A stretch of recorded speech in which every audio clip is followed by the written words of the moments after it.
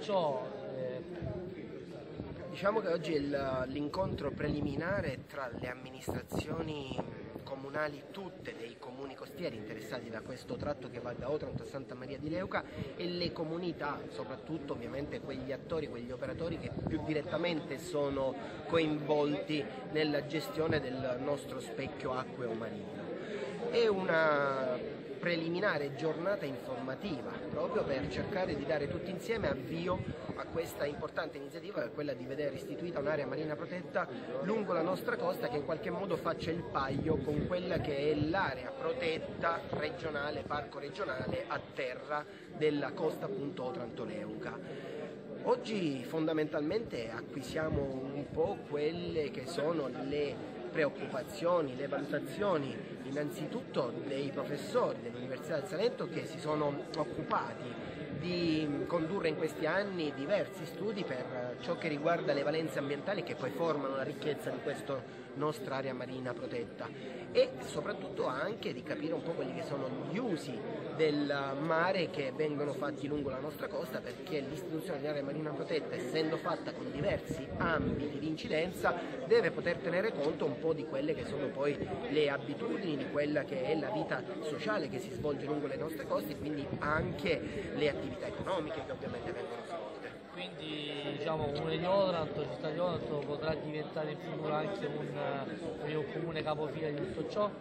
In questo caso non serve un comune capofila, Otranto oggi in qualche modo avvia questa procedura solo perché come città da qualche tempo seguiamo già la procedura dell'istituzione marina protetta sin da quando il Ministero aveva previsto con decreto un'area di reperimento penisola salentina. Area di reperimento penisola salentina che era troppo vasta per poterci consentire di organizzarci e vederla realmente istituita, abbiamo chiesto al governo e quindi al Parlamento che riducesse quest'area di reperimento alla sola nostra costa diciamo, orientale adriatica, per cui oggi l'area di reperimento si chiama Capo d'Otranto e Grotte Romanelli Zinzulusa ed è su quest'area che ci concentriamo appunto con le altre municipalità, con le altre comunità. Quindi a seguire dopo questo incontro andremo ovviamente in tutte le altre città a fare degli incontri tematici, soprattutto seguiti sempre dall'Università del Salento e dai tecnici di ISPRA che sono consulenti per il Ministero dell'Ambiente che poi è l'ente che determinerà un po' l'iter procedurale. Ok, grazie Sindaco, rimaniamo, rimaniamo sempre. Grazie a voi ma è su un determinato tratto della costa della penisola salentina che è questo appunto orientale che riguarda in qualche modo lo specchio acqueo prospicente il parco regionale a terra Otranto Santa Maria di Leuca. Premetto che è un primissimo incontro informativo divulgativo, ecco perché abbiamo voluto farlo tutti insieme e da subito estenderlo alle comunità e per le comunità in particolar modo anche gli operatori più strettamente interessati. Voglio per questo ringraziare e salutare innanzitutto gli amici professori dell'Università del Salento che da anni svolgono un'intensa attività di studio, di analisi, di approfondimento di quelle che sono poi un po' tutte le tematiche ambientali, geomorfologiche e anche socio-economiche che sono ovviamente aspetti rilevanti per l'eventuale istituzione di un'area marina protetta. E quindi saluto il professor Boero, la professoressa Fraschetti, il professor Belmonte ma anche il direttore dell'area marina protetta che abbiamo nella penisola salentina che è quella di Porto Cesario Paolo D'Ambrosio, dottor D'Ambrosio che ringrazio e porterà oggi qui per noi in qualche modo anche la testimonianza di un'esperienza importante di un lavoro che si sta facendo già nell'area marina protetta di Porto Cesario e che credo possa essere esempio già per noi e per tanti altri del eh, buon esito delle iniziative sin qui condotte. Ma voglio ringraziare anche gli amici della Capitaneria, il comandante della Capitaneria di Gallipoli e il nostro comandante dell'ufficio circondariale marittimo perché come sappiamo la Capitaneria di Porto ha un ruolo importante nella fase istitutiva delle aree marine protette. Solitamente sono chiamati ad essere l'ente gestore nella fase iniziale per poi ovviamente cedere il testimone all'ente che verrà a costituirsi e chiariamo subito anche questo aspetto. nell'area marina protetta non esiste un comune capofila, non esistono i comuni che si devono associare, è il Ministero che poi istituirà un ente di gestione, ma credo che poi Paolo D'Ambrosio ci fornirà più chiari dettagli della mh, fase poi gestionale e quindi diciamo che le amministrazioni civiche in questo uh, contesto servono solo come attività divulgatrice sui propri territori per coinvolgere il più possibile quelle che sono appunto le popolazioni, quelli che sono gli attori più strettamente collegati alle attività del mare per poter acquisire tutte quelle informazioni utili che questo percorso esige. Quindi avremo necessità di fare poi tutta una serie di puntuali appuntamenti, io mi auguro che li si possa fare in ogni singola nostra città con eh, la collaborazione sempre dell'Università del Salento e soprattutto in questo caso per il Ministero Ambiente dei tecnici di ISPRA che già sono in contatto con noi e che in qualche modo ci hanno già eh, avviati a questo, eh, questo iter procedurale. Un iter procedurale che io non so se abbiamo eventualmente le immagini delle slide che la stessa ISPRA ci aveva fatto pervenire, dove fondamentalmente spiegano quelli che saranno poi i percorsi da svolgere e credo che in questo caso potremmo poi affidarci anche al dottore D'Ambrosio per avere un po' un'informazione tecnica mm, più puntuale su questo percorso. A me a questo punto non resta altro che passare la parola ai relatori che ringrazio nuovamente per la loro presenza e iniziare tutti quanti a introdurci in questa nuova avventura che speriamo trovi esito positivo finale per noi tutti. Grazie e buona giornata. Io a questo punto passerei la parola al professor Boero che ci introduce nei lavori. Grazie mille. Eh, quest'anno sono 30 anni che io sono in Salento. Eh, sono arrivato qui nel 1987. Ho fatto riunioni di questo tipo a Porto Cesareo quando si iniziò a parlare di area marina protetta. Ed erano tutti contrari, soprattutto i pescatori e così via. Tutti vedevano nelle aree marine protette un limite alle loro libertà libertà che voleva dire facciamo quello che vogliamo. A Porto Cesareo con 4.000 abitanti ci sono 17.000 case abusive, eh, per cui è ovvio che c'erano 100 barche allora con la licenza, ma operavano 300 barche. Quindi c'erano 200 barche che andavano a pescare senza la licenza. Eh, ovviamente questo stato di altissima illegalità o elusione dalle regole dello Stato eh, non vedeva di buon occhio l'istituzione di qualcosa che avrebbe potuto mettere in luce questo stato di cose. Eh, sono passati quasi 30 anni, eh, adesso sono molto contenti di avere l'area marina protetta. Quindi convincerli allora era più difficile perché non vedevano quali avrebbero potuto essere i vantaggi. Eh, convincere ora è molto più semplice. Ci sono eh, città che non hanno nulla sul mare, soprattutto sulla costa adriatica a nord del Gargano, che dato che hanno un politico gli chiedono di fargli l'area marina protetta per poter valorizzare il proprio territorio. Quindi adesso è vista come qualcosa di ambito. Eh, Porto Cesareo ebbe dei problemi all'inizio eh, perché il Ministero non fece benissimo le cose, chiamò l'area marina protetta di Porto Cesareo e poi però metà dell'area marina protetta è in comune di Nardò. Per cui Nardò e Porto Cesareo cominciarono immediatamente a litigare su chi dovesse gestire l'area marina protetta. E per loro gestire voleva dire prendere dei soldi e spenderseli come volevano loro. Eh, il Ministero per questo fermò altre, altre istituzioni di aree marine protette perché qui c'era un'area marina protetta prevista che si chiamava Grotta Zinzolusa Romanelli, eh, proprio per il timore di altissima litigiosità tra i comuni che insistevano su queste, su queste aree. E quindi, però qui poi ci fu il consorzio dei comuni del Capo di Leuca che premeva per fare l'area marina protetta. Ricordo un incontro con l'onorevole Lia a, eh, a Tricase, credo 15 anni fa, eh, dove tutti i comuni della parte più meridionale di questo tratto di costa eh, chiedevano che ci fosse l'area marina protetta. Nel frattempo le cose sono cambiate. Eh, noi abbiamo finito, la nostra università, l'Università del Salento, ha finito da poco il coordinamento di un progetto europeo eh, con 22 paesi di tre continenti sulla creazione di reti di aree marine protette in Mediterraneo e in Mar Nero. Eh, la zona pilota per il Mediterraneo era qua, a, nel, tra Otranto e la costa albanese di fronte. Eh, cosa vuol dire reti? Eh, vuol dire che quando io proteggo un'area marina protetta individuo un posto e applico determinate regole in quel posto lì. Quello che c'è fuori è fuori. La rete prevede che anche gli spazi tra un'area marina protetta e l'altra eh, siano sottoposti a una gestione e una protezione dell'ambiente che garantisca determinate cose.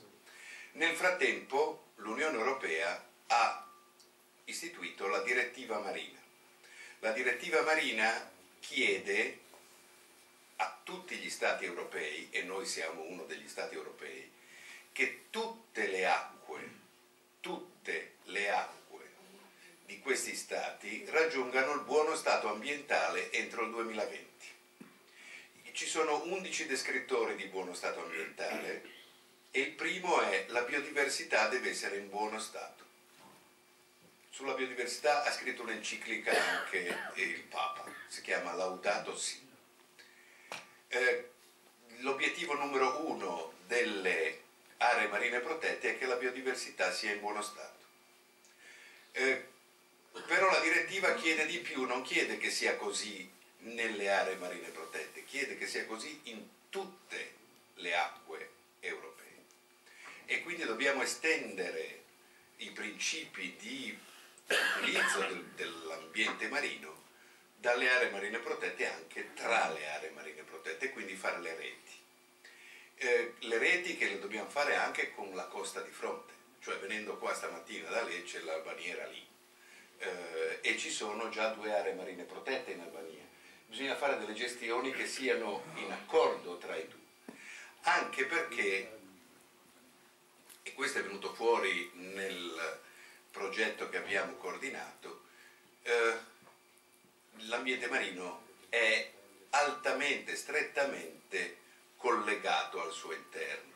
Eh, voglio spiegare una cosa sul, sull'importanza di questo tratto di costa.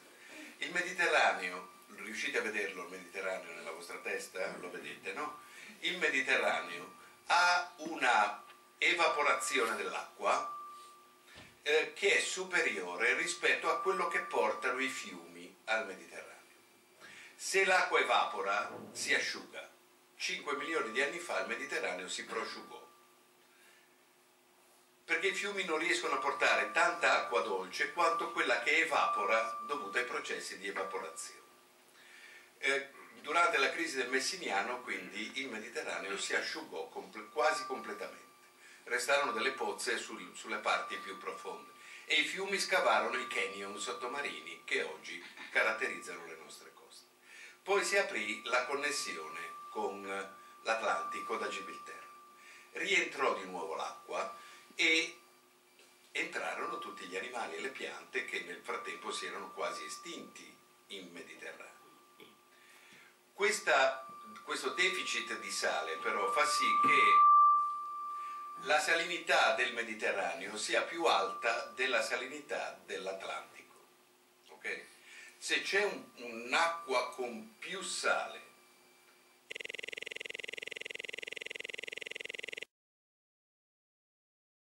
e è in contatto con acqua con meno sale, l'acqua con meno sale entra nel bacino per bilanciare le due salinità.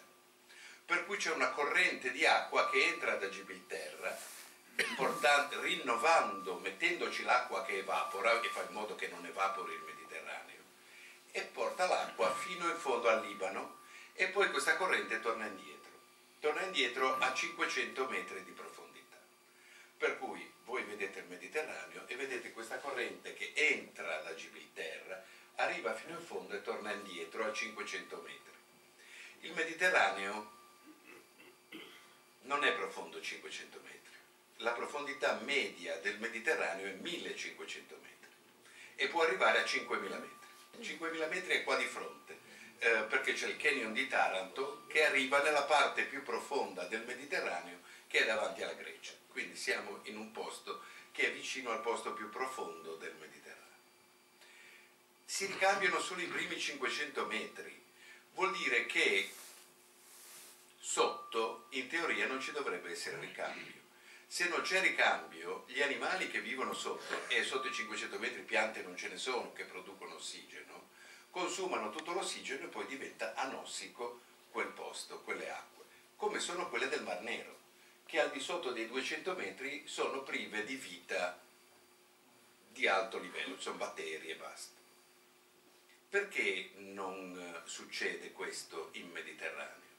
Perché ci sono i motori freddi. Ho fatto queste relazioni alla Capitaneria di Porto di Napoli e in quella di Brindisi e c'era tutto pieno di, eh, ovviamente, di, di, di comandanti e così via delle capitanerie e hanno confessato che queste cose non le sanno. Eh, perché no? E quindi perfino chi va in mare tutti i giorni e dovrebbe conoscere certe cose non viene istruito riguardo a questo. C'è il Golfo del Leone e c'è il Nord Adriatico. In questi due posti c'è più freddo, perché qua c'è il Mistral e qua c'è la Bora. Quando l'acqua diventa fredda, diventa densa e tende a scendere. Eh, il Golfo del Leone è il motore freddo del Mediterraneo occidentale e attraverso i canyon del Golfo del Leone l'acqua scende e va in profondità nel Mediterraneo occidentale e fa risalire l'acqua che era in profondità. L'acqua di superficie è ricca di ossigeno e porta l'ossigeno in profondità. L'acqua dove l'ossigeno è stato respirato torna su e rientra in connessione con il sistema di scambio in modo che si arricchisca nuovamente di ossigeno. Il nord Adriatico, l'acqua passa lungo la costa italiana, scende lungo le nostre coste, passa qui davanti, scende dal canyon di Bari, perché c'è un canyon a Bari, scende giù, gira attorno e poi va a finire nella parte più profonda del Mediterraneo orientale. Per cui di qui passa l'acqua che tiene in vita il Mediterraneo orientale. Questa corrente porta nutrienti anche oltre che ossigeno e davanti a Leuca ci sono i coralli bianchi, e, cioè ci sono delle barriere coralline che non sono in superficie come quelle tropicali, ma sono in profondità. Si pensava che fossero ormai eh, fossili in Mediterraneo e invece si comincia a trovarne di vive e questa è una delle prime barriere coralline profonde viventi che è stata trovata. E ce l'abbiamo qua, una delle cose che chiedeva il progetto Coconet, quello sulle reti di aree marine protette, è che si estendesse la protezione anche al mare aperto e al mare profondo. E qui abbiamo barriere coralline a 500 metri di profondità, c'è il mare profondo. In più, lungo la costa Otranto-Santa Maria di Leuca, ci sono delle comunità coralligene con il coralligeno di piattaforma, che addirittura si chiama coralligeno di tricase, che sono uniche in Mediterraneo. Perché di solito le formazioni coralligene, che sono fatte da alghe coralline, da, anche da coralli, ma di tipo diverso rispetto a quelli del, tropicali, è una biocostruzione, cioè questi organismi crescono sul, sulla roccia e costituiscono essi stessi un substrato e sollevano anche il fondo e quindi fanno dei pinnacoli e fanno delle cose del genere.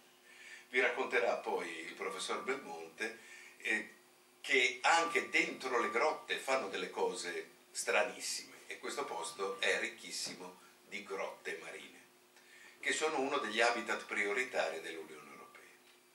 Eh, la costa Otranto-Leuca è... ce l'ho ancora qualche minuto? Sì. Eh, la costa Otranto-Leuca è diversa dalle altre coste del Salento perché è rocciosa e scoscesa e in moltissimi casi la gente non l'ha colonizzata. Una delle cose più importanti quando la gente va in eh, Grecia, tornano e dicono visto le isole erano bellissime, non c'era niente. Niente è un valore importantissimo. Eh, qui avete una costa di 50 km in cui in gran parte non c'è niente. Eh, e è un asset essenziale che non ci sia niente. La cosa tragica in Grecia è che non c'è niente nemmeno dentro, perché tutta la popolazione è concentrata ad Atene. Eh, qui a pochissimi chilometri di distanza ci sono paesi magnifici e che hanno fatto di solito poi la loro propagine sul mare. Tricase, Tricase Porto, Castro, Castro Marina e così via. Okay? Eh, dove però la vita è molto più è intensissima in pochissimo tempo e poi sono bene o male abbandonati dopo poco. Ma nell'interno sono aperti sempre. Ok? Sono aperti sempre. Per cui c'è una conformazione di questa costa che ha un asset importantissimo, niente, e poi è un altro asset importantissimo, ci sono tutti questi paesi lungo la costa, a pochissima distanza dalla costa o come Otranto direttamente sulla costa, che sono dei gioielli.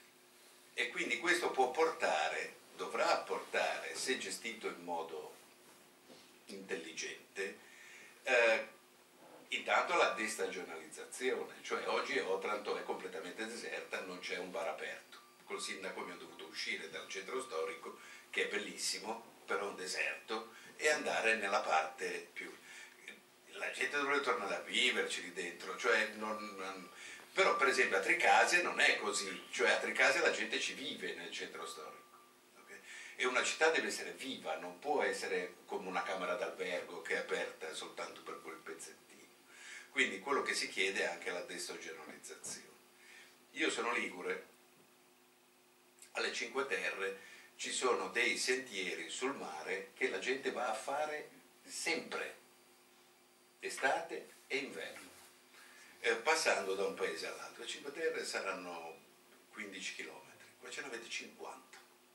Eh, cioè io penso a un sentiero che a piedi vada da Otranto a Leuca, eh, quanto ci vuole andare a piedi da Otranto a Leuca? Se ci fosse un sentiero sulla costa, forse ci vogliono 5 giorni 5-10 km al giorno, ok? 10 km al giorno, andando poi nell'interno, passare la notte, no? E poi ritornando e così via. In ogni mese c'è una storia diversa in questo pezzo di cosa, no? Anzi, d'agosto sarebbe proprio il mese in cui non farlo perché fa troppo caldo.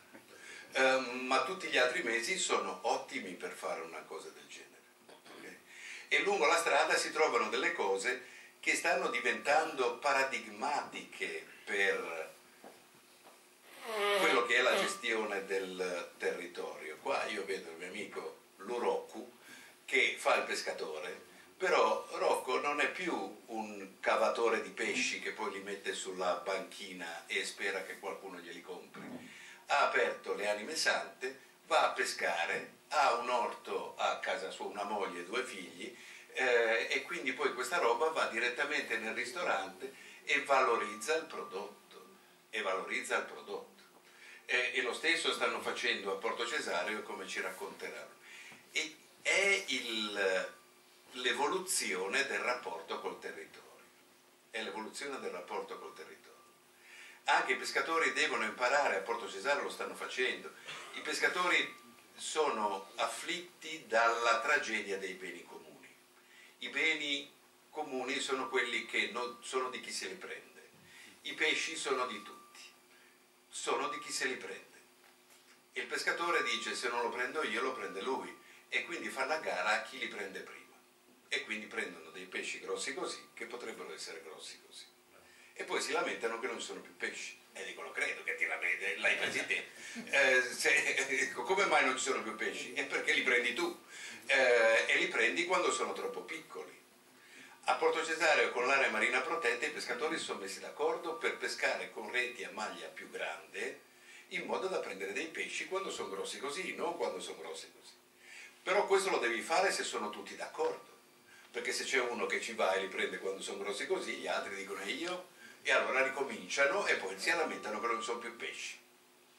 Eh, e quindi c'è una cultura che deve essere costruita. Le aree marine protette servono, servono. Eh, noi abbiamo fatto, poi ve lo diranno i miei colleghi, delle moltissime ricerche su questa costa perché è troppo importante, è troppo, cioè ha un ruolo chiave per il funzionamento del Mediterraneo, non solo per questo posto qua. Quindi eh, avete una responsabilità. Eh, finisco dicendo una cosa che racconto sempre. Eh, talassofili e talassofobi lo sapete cosa vuol dire? Eh, L'Italia si divide in due categorie, i talassofili e i talassofobi. I talassofili sono quelli che amano il mare, i talassofobi sono quelli che ne hanno paura. Secondo voi il Salento è talassofilo o talassofobo? Tutti dicono talassofilo, non è talassofilo, è talassofobo. Eh, ci sono due città importanti sul mare in Salento che sono Otranto e Santa Maria di Leuca, e, Santa Maria di Leuca e Gallipoli. Tutte e due sono circondate da mura. Ah, perché?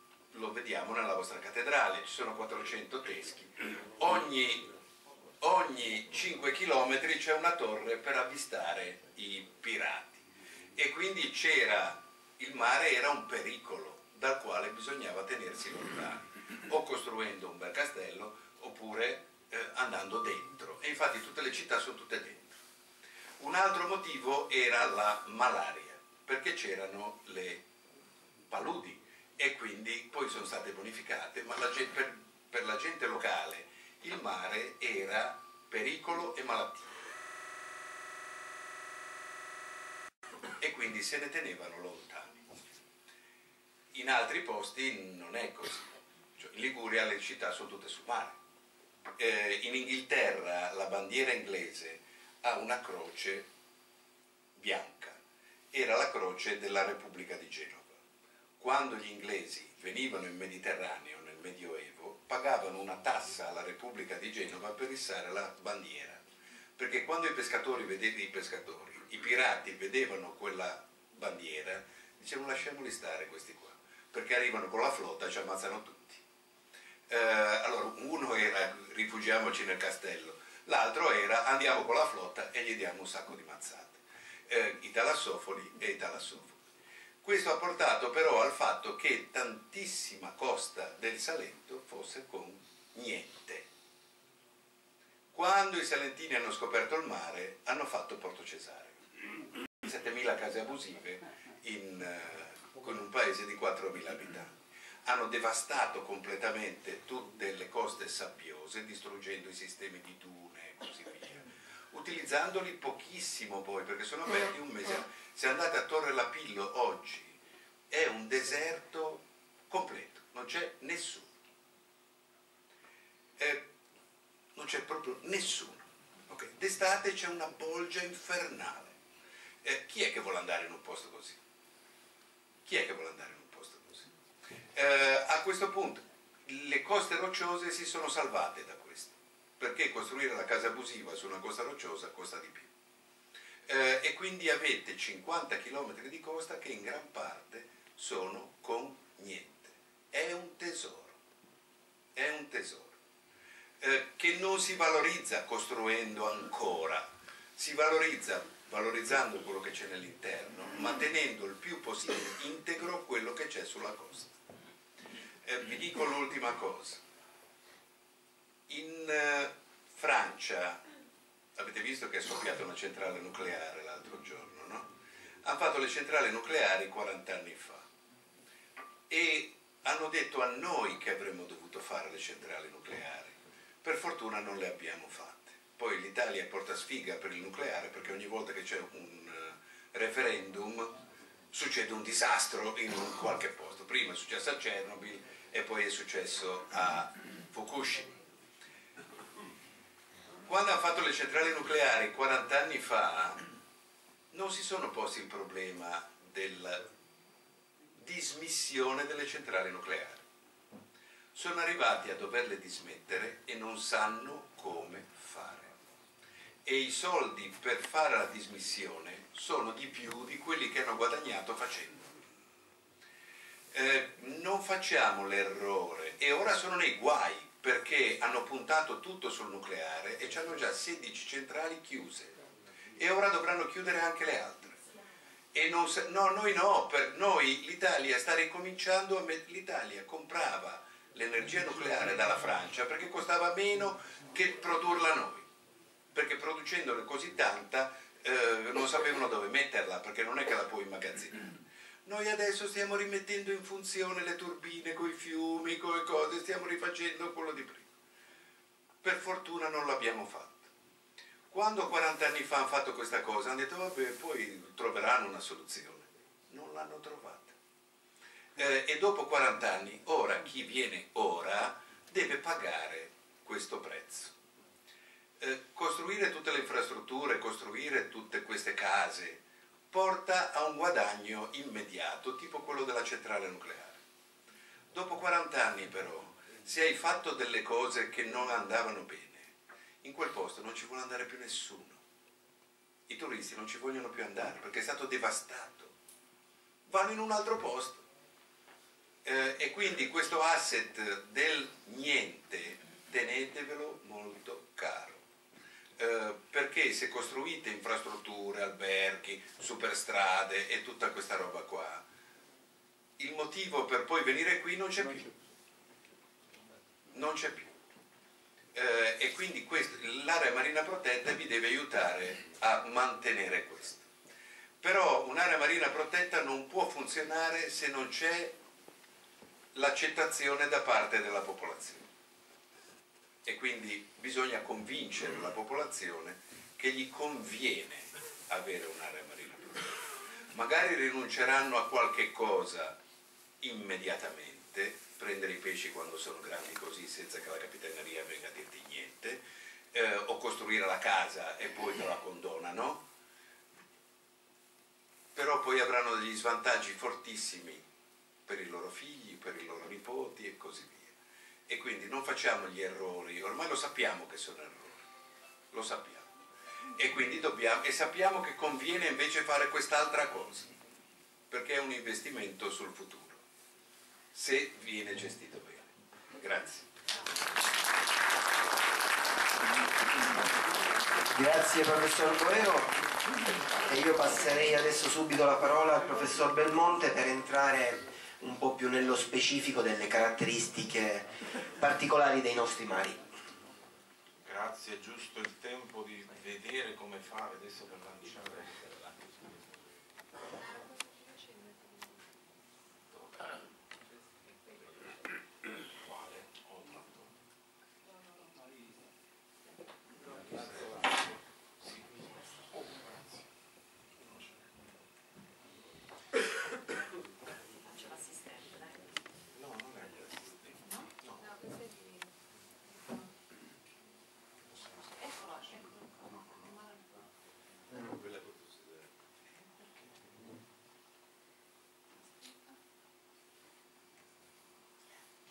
sarà una, un intervento informativo, nel senso che più che, più che programmatico, vabbè che siamo montanari,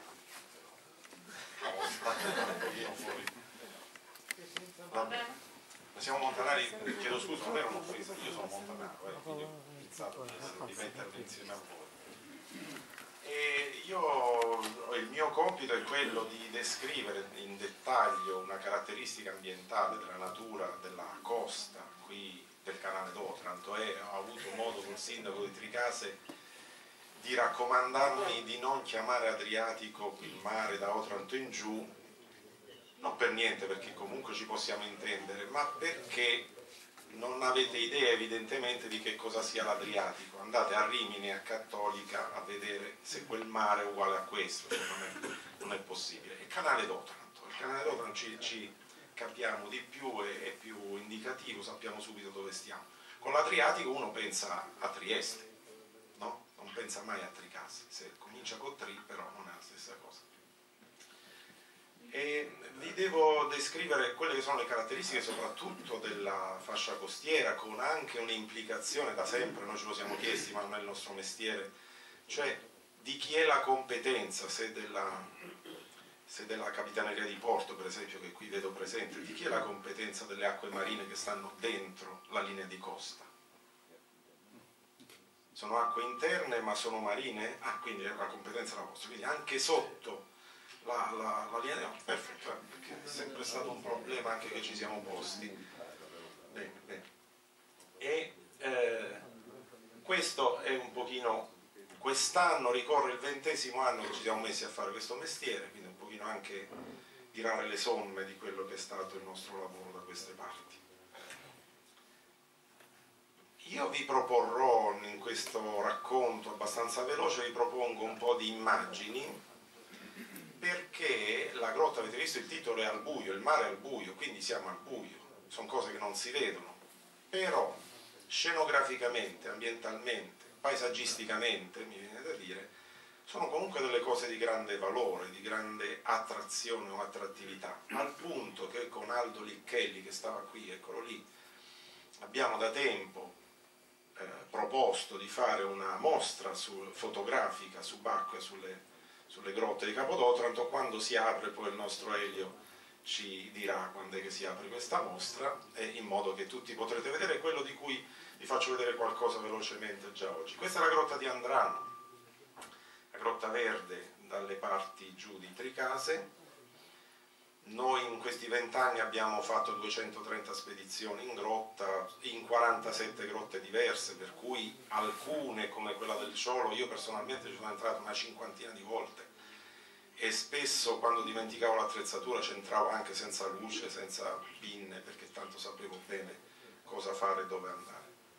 Con un gruppo di persone, ovviamente non da soli abbiamo fatto queste cose, ma 34 in tutto e spero di non dimenticare nessuno, tra cui i principali, vedete, sono sia dell'università, quelli in bianco, che invece degli amici di Apogon, che sono gli speleosubacquei che ci hanno sempre seguito come angeli custode in tutte queste eh, esplorazioni. Grotte marine del Salento, questa è la grotta del Ciolo, da dentro naturalmente, a Cagliano, e le grotte marine del Salento sono, e, e su questo sorvolerò perché siete molti, alcuni di voi sono amministratori, quindi sanno bene di che cosa stiamo parlando, sono anche storia.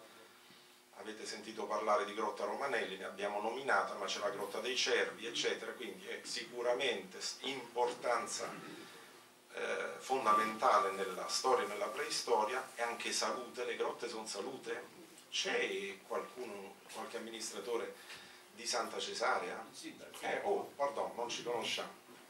Le grotte sono anche salute e turismo naturalmente. Quindi di che stiamo parlando? Stiamo parlando di ovvietà, turismo, tradizione, eh, perché tutto questo poi entra nel, nell'immaginario popolare. Quello di cui invece vi devo parlare io è, è l'aspetto forse che si conosce di meno, perché è quello che sta sott'acqua Grotte marine, mi soffermo sul turismo perché c'è anche il sindaco di Castro, eh, perché Grotta Zinzulusa, se i miei dati non sono sbagliati, ma se non sono 110.000 visitatori, sono 115 o 100, non ha importanza, visitatori all'anno. È il sito a pagamento più visitato del Salento, una grotta. Quindi, certo, in cattedrale si entra senza pagare, per carità. Ci sono altri posti turisticamente più frequentati, ma quelli dove si paga, Grotta Zinzulusa è il primo. Eh? Visitato da 110.000 visitatori l'anno, che è un bel affare per il comune di Castro. Per un... Però vale per quello. Eh, come no? E quindi eh, vedete che diventa importante anche la gestione, l'amministrazione proprio economica di questi beni.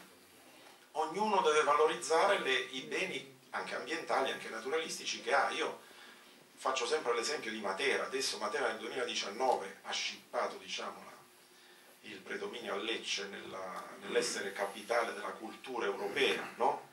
ma a, da Matera la gente è stata portata via perché Matera era la vergogna d'Italia nel 1900. 1957 De Gasperi portò via i materani da dove vivevano in condizioni poco sane e li ha portati da un'altra parte. Bene, Matera ha fatto di questa sua vergogna il suo punto di forza. Quindi quello che si ha va valorizzato. Cosa c'è qui? Senza inventarsi cose strane, senza portare cose strane. Cosa c'è a Castro? Una grotta? Valorizzata benissimo. No? E quindi continuare a a starci sopra, però a studiarla. Questa è proprio Zinzulusa dentro. Eh? Non so chi ha visto Zinzulusa dentro, cioè sott'acqua, eh, forse nessuno, perché una è quella zona in cui l'accompagnatore vi dice qui poi non si può andare più e si torna indietro. Arrivederci e, e ci vediamo dopo. Quindi l'area visitabile è quella eh, diciamo subaerea, quella subacquea non si visita. Gruppo con cui lavoro io, il gruppo che mi assiste diciamo, alle ricerche, è quello invece che è autorizzato a farlo, anzi dal 96, quindi anche qui fanno 20 anni, c'è questo progetto aperto in, con cui ci siamo dati questa regola, ma in realtà forse più dovuta all'età o alle altre cose da fare, che però è così, poi alla fine funziona. Entriamo dentro Sensulusa massimo due volte l'anno e ogni due o tre anni, cioè non è un posto dove andiamo spesso, perché è un posto delicato. È un posto delicato, queste sono le sezioni, ma 61 specie animali, 19 endemiti pugliesi, cioè di animali che vivono soltanto in Puglia e in nessun'altra parte del mondo, 4 endemiti assoluti, vuol dire che vivono soltanto dentro Grotta Sensulusa e in nessun'altra parte, non della Puglia, ma manco di Castro, del mondo. Quindi stanno soltanto lì. Ecco perché Sensulusa diventa, è una di queste specie, vedete una spugna, Igginzia ciccaresei, dove Nini Ciccarese eh, eh, dove, sta? dove sta? Eccolo lì. Eh. Tra l'altro la cosa bella di queste cose è di avere una specie col proprio nome, una specie dedicata, quindi dedicarsi, favorire questi studi potrebbe anche significare questa fortuna, cioè di rimanere nella storia, eh, nell'eternità, con, con un nome, con una spugna che porta il proprio nome, sei rimasto nell'eternità. E le altre vedete quali sono. E a causa di questo Zensulusa è tra le 10 grotte biologicamente più importanti del mondo. Questo noi non ce ne rendiamo conto perché andiamo a vedere Zensulusa, ci piace, gli facciamo un giro, è fresco, d'estate soprattutto si approfitta, però le guide ce lo dicono ce lo dicono che c'è il gamberetto X o l'altro Y che sono importanti dei fossili viventi, quindi ce lo dicono alla fine parte pure della presentazione e della valorizzazione di quello che si sta facendo. Se io guida vi dico che Grotta Zinzulusa è una delle dieci grotte più importanti del mondo, eh, sto facendo una cosa importante e anche il visitatore è contento anche di aver pagato quel biglietto. Non è una banalità? Qual è la situazione? Ecco, vedete la situazione, il canale d'Otranto, da Otranto a Leuca sostanzialmente, è interessato da una miriade di, eh, di, di, di siti bucati, cioè di grotte. 93 grotte c'erano nell'83 in una rassegna eh, in cui soltanto 44 però avevano una continuazione o una parte sommersa. Nel 97 quando abbiamo cominciato noi abbiamo fatto il punto della situazione, non erano 44, erano 53, nel 2008 a 10 anni di distanza erano diventate 77 e oggi, cioè ieri, sappiamo che ce ne sono 115, ma una decina sono ancora essere, in attesa di essere catastate. Questo vuol dire che il fenomeno ecco, non è solo grotta sinsolusa, ma se dessimo la stessa attenzione che diamo a grotta sinsolusa a tutte le altre 115, capite bene che diventa una realtà importante e caratterizzante di questo tratto di costa. Questa è un'altra immagine sempre di Aldo, vedete che si diverte un pochino. Ora, perché sono importanti le grotte? Sono importanti le grotte? Ecco, se ce n'è soltanto una è una mosca rara, una mosca bianca, se ce ne sono cento, ecco, ma qual è il loro ruolo nel sistema costiero? il nostro calcolo è per quello che sappiamo che all'incirca 18 km e mezzo di parete rocciosa sono interessate da questo fenomeno, cioè stanno al buio perché stanno in grotta. Allora non di, parete, non di parete, ma nella parete se io poi entro dentro e esco fuori, ecco, c'è un aumento dello sviluppo della parete sotto.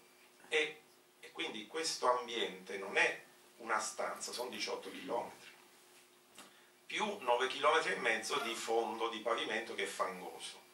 Quindi in totale c'è una bella quantità di superficie da considerare dal punto di vista delle differenze che ci possono essere con l'esterno, dove invece c'è il moto ondoso, c'è la luce, ci sono altre situazioni. Quindi aumento della linea o della superficie di costa sommersa, aumento delle opportunità di adattamento per le specie animali, occasione di rifugio e protezione e però attenzione, il rovescio della medaglia, non so se si legge, che sono vie di scarico anche per i reflui terrestri, perché tutto ciò che entra nella falda che noi immettiamo nei pozzi, nei pozzi neri, non, non ben isolati, tutto va a finire in falda e la falda dove esce poi? Esce a mare, più o meno sott'acqua, più o meno a livello delle grotte, quindi potrebbero essere interessanti anche dal punto di vista del percepire che cosa accade all'interno del territorio oppure via di penetrazione delle acque salse. Quando emungiamo troppa acqua dolce, l'acqua di mare entra sotto il territorio e ci dà altri problemi. Quindi da dove entra? È dal mare, quindi dalle grotte. Quindi le grotte sono una via di interfaccia fra le acque dolci e le acque marine, con tutto quello che questo comporta. Che cosa abbiamo fatto in questi anni? Questa è una rassegna che ogni tanto devo aggiornare, ma insomma, dall'ultima volta a settembre che ci siamo visti proprio a Otranto non è cambiato granché il, ehm, abbiamo fatto 18 tesi di laurea fra Università di Lecce, di Modena, di Urbino e di Ghent anche, tre dottorati di ricerca, di cui uno anche dell'Università di Siena, 41 pubblicazioni scientifiche e per cui un po' di lavoro c'è, qualche cosa l'abbiamo imparato.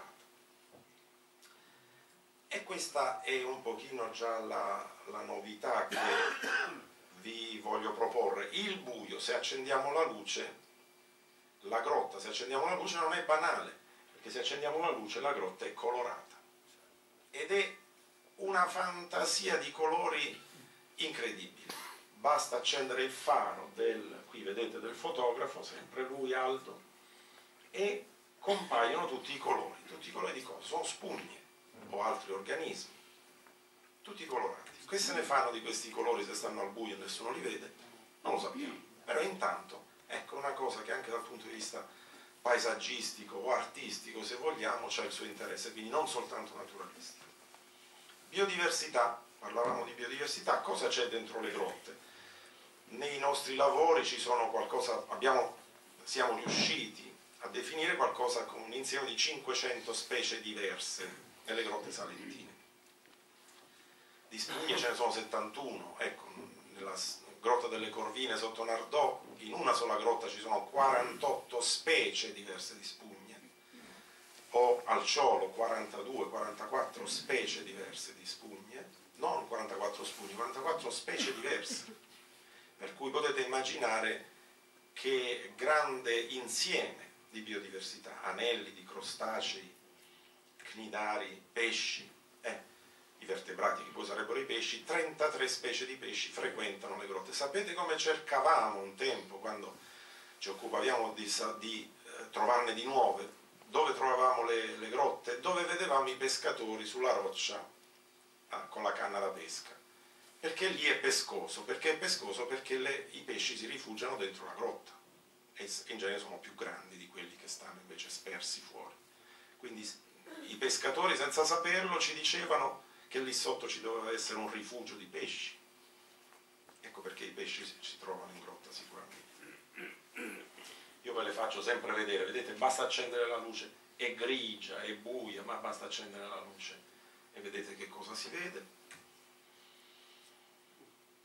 50 di queste 500 specie sono risultate nuove per la fauna d'Italia, nel senso che in Italia non erano state mai trovate ma di queste 50, 17 sono risultate nuove per la scienza, cioè nelle grotte salentine ci sono un totale di 17 specie nuove per la scienza, significa che nessuno le conosceva e dunque che non stanno in nessun'altra parte del mondo al momento, quando le troveranno altrove ce lo diranno, ma per il momento stanno soltanto qui. Questi sono numeri, però 500 specie sono assai, sono poche, che cosa significa? Il posidonieto, sempre in un lavoro vecchio, ma è semplicemente per fare un paragone, e copre attorno a tutta la Puglia 140 km quadrati di superficie sommersa e dentro Parenzani che ci aveva lavorato ci aveva trovato 330 specie animali e 35 vegetali, quindi 350 specie diverse. Ecco, vedete già, però quelle sono 100, a tutta la Puglia, 140 km quadrati. Il coralligeno è stato stimato sempre da Parenzani in 276 km quadrati, adesso abbiamo dei dati sicuramente più aggiornati ma semplicemente per fare dei paragoni, con 700-800 specie. E le grotte, dicevamo, hanno 500 specie, ma sapete quanti chilometri quadrati sono stati studiati? Se vi fate il conto di quei eh, 18 più 9, 27, cioè viene 0,03 chilometri quadrati. Quindi 500 specie in una porzione infinitesima di superficie o di ambiente rispetto a quelle studiate le 500 specie. Io qui andrei veloce, vi faccio vedere solo un po' di immagini di Aldo, questa è la grotta Bengasi, che non ha ragioni libiche se non per il fatto che la persona che ci abita lì o che vive lì vicino si chiama Bengasi di, di nome, non di cognome, quindi sono dei nomi particolari che si usavano in Salento anche il fratello di Paolo Martino, il nostro custode del, del, Museo di Biologia Marina si chiamava Homs, che è un'altra città della Libia. Eh certo, perché storie, vicende naturalmente. Sono giardini zoologici perché non ci sono vegetali al buio naturalmente e questi sono i risultati dei nostri studi. Io vi faccio vedere piuttosto le fotografie con questi giochi ovviamente con la luce eh, anche che entra da sola in questi azzurrini quasi neon eh, andiamo avanti così. Vedete sempre la zona illuminata sempre colorata di rosso, di azzurro, di giallo. Incredibile, sono spugne sono spugne. E questa invece è la cosa su cui mi vorrei soffermare. Vedete questo fascio di matite, fascio di pali di pietra che viene giù e, e la limpi dalla fotografia ma è, siamo sott'acqua. Lì c'è, un, uno speleosub a fianco e qui siamo alla grotta Lulampiune proprio a Punta Facì qui a Capodotranto. Perché queste, ci sono queste formazioni straordinarie questi, questi pali di pietra stalattiti le avevamo cominciate a chiamare, però sono oblique, non è che vengono giù con la forza di gravità, sono oblique, come vedete in alcuni casi sono anche orizzontali a zanna d'elefante, quindi come fanno a essere quelle che invece tutti chiamano stalattiti? Non sono stalattiti e quindi ci siamo messi a capire di che cosa si trattava. Le stalattiti delle grotte di Capodotranto sono completamente organogene marine, cioè derivano dagli scheletri di organismi marini non sono originate dalla goccia che scava, che, che forma il calcare, eccetera, ma da organismi marini che nascono e muoiono uno sull'altro, uno sull'altro e fanno questi pali di pietra. Speleotemi, cioè questo tipo di, di, di temi speleologici, non era mai stato descritto prima in nessun'altra parte del mondo, di nuovo. Ma tante ce n'è da dire sempre la prima volta nel mondo, perché è un posto straordinario questo allora. Questa è una biostalattite, diciamo così, che vista sezionata, vedete, non ha il cuore di pietra da nessuna parte, ma ha tanti bucatini, come se fosse un mazzo di bucatini di pasta. Se lo vedete ingrandito, quei bucatini sono i tubi di vermi policheti con cui facciamo l'esca spesso, ma che vivono all'interno di questi tubi, all'interno di queste grotte.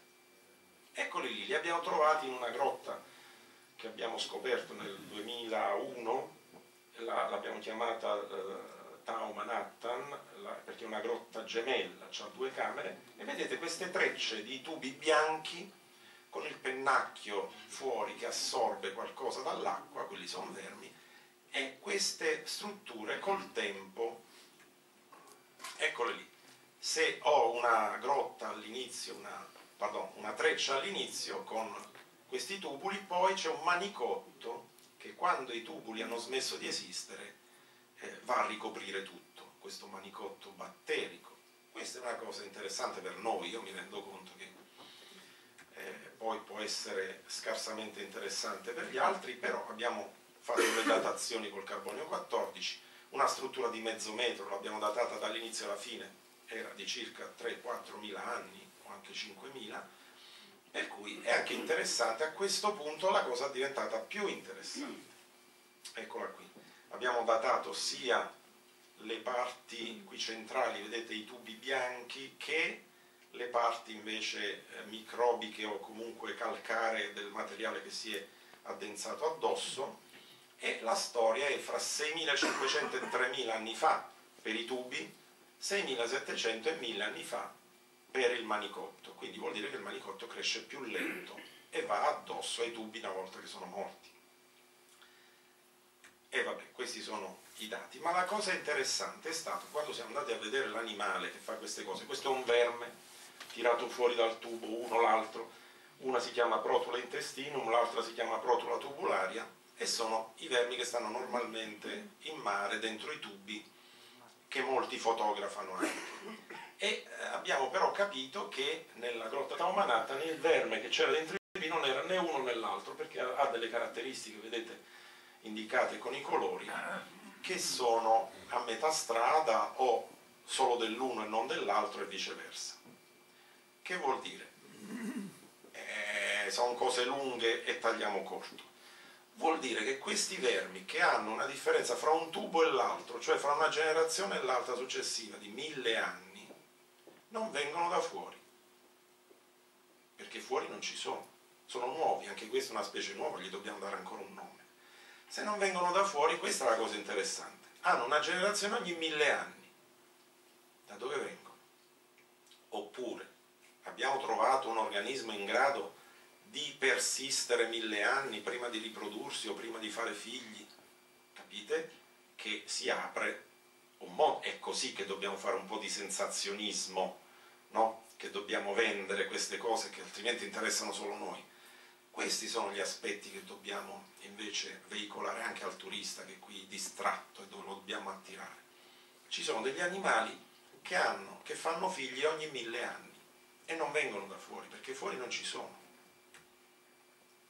Ancora altre specie nuove che troviamo altrove, anche qui, non specie nuove, ma famiglie mai segnalate in Europa. Quindi, e dove si trovano? Dentro le grotte, perché lì non cerca nessuno, evidentemente. Abbiamo anche messo in piedi un acquario Nardò dedicato alle grotte o agli ambienti chiusi, attenzione, perché non è soltanto la grotta un ambiente chiuso, ma anche il relitto è un ambiente chiuso. Con un progetto europeo abbiamo eh, rappresentato in vasca l'ambiente di grotta, ma siamo andati anche a cercare nei fondali a largo di Gallipoli aerei, navi affondate per riprodurle in vasca e quindi abbiamo raccontiamo delle storie in quelle vasche perché a noi interessa il relitto sempre dal di dentro, da ciò che contiene, quindi come una grotta, e vasi e anfore, anche dell'antichità, anche l'anfora è un posto dentro cui vive qualcosa, al buio. Questo è il tema che abbiamo sviluppato a Gallipoli, e pardon, a Gallipoli, a Nardoli vicino. Cosa rimane da fare? ispezionare tratti di costa non studiati, che sono almeno 50 km nel primo eh, tratto, però avendo già trovato un 110-115 grotte in questo primo tratto frequentato dai subacquei, eccetera, se ce ne fossero state l'avremmo saputo. Diciamo manca poco al completamento del dato. Quello che manca invece completamente è il tratto di costa sotto i 30 metri.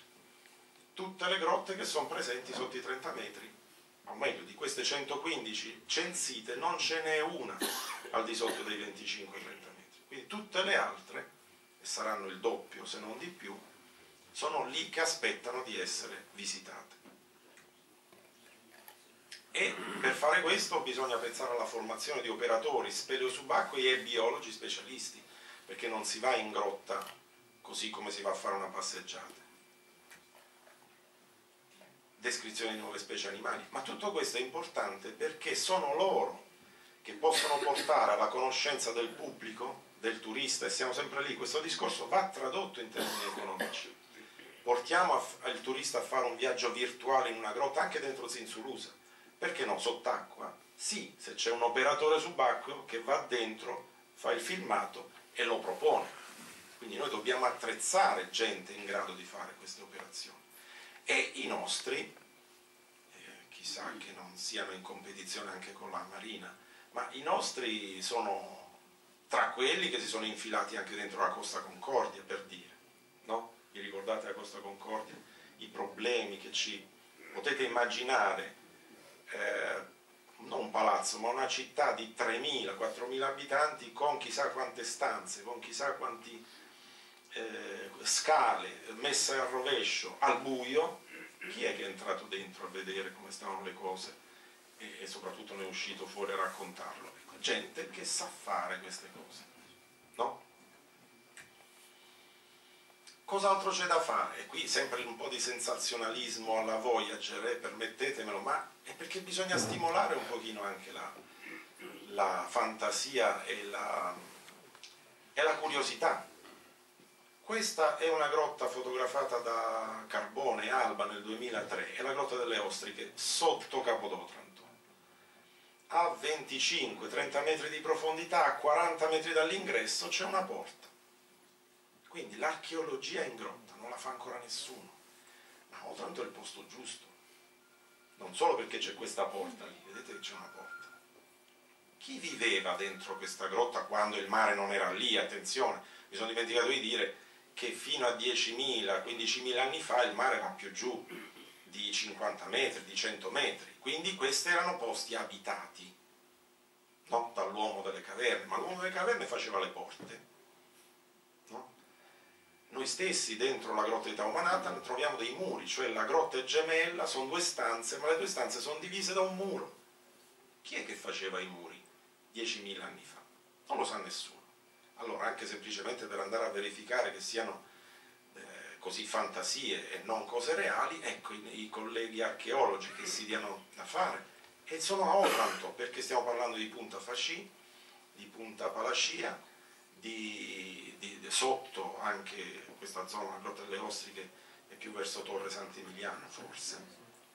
E stiamo parlando di cose da fare con questa nuova situazione e con la necessità di tenere sempre alto il valore di queste cose che è un valore non soltanto naturalistico, quello se permetterete sempre ci penseremo noi, ma è anche un valore di diverso tipo, storico, culturale, eh, di, eh, ambientale, ma anche sportivo, non lo so, comunque tecnologico. E che tecnologie mettiamo a punto per fare queste visite, per trasferirle alla persona comune?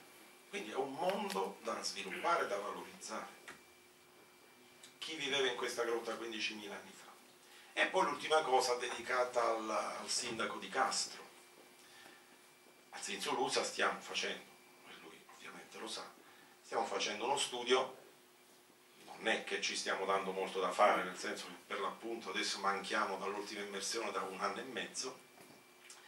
Che cosa abbiamo visto? Abbiamo messo una sonda multiparametrica in acqua, lontano dall'ingresso, lontano dalla immersione, per vedere come variassero la temperatura, la salinità, il pH, la profondità con le maree e niente, vogliamo semplicemente dare dei numeri in più a questo sistema, a questo ambiente. La nostra sonda però è dotata anche di un sensore per la luce, che non siamo stati a togliere, l'abbiamo lasciato, tanto è buio e, e, sarà così. Ecco, vedete, questa è la misurazione della, della luce, proprio del PAR, che è dell'attività fotosintetica nei primi 30 secondi, qui più tocco e più vanno avanti le cose, e vedete che all'inizio, quella parte sulla sinistra, si legge 700, poi man mano, dopo 30 secondi, leggiamo 0.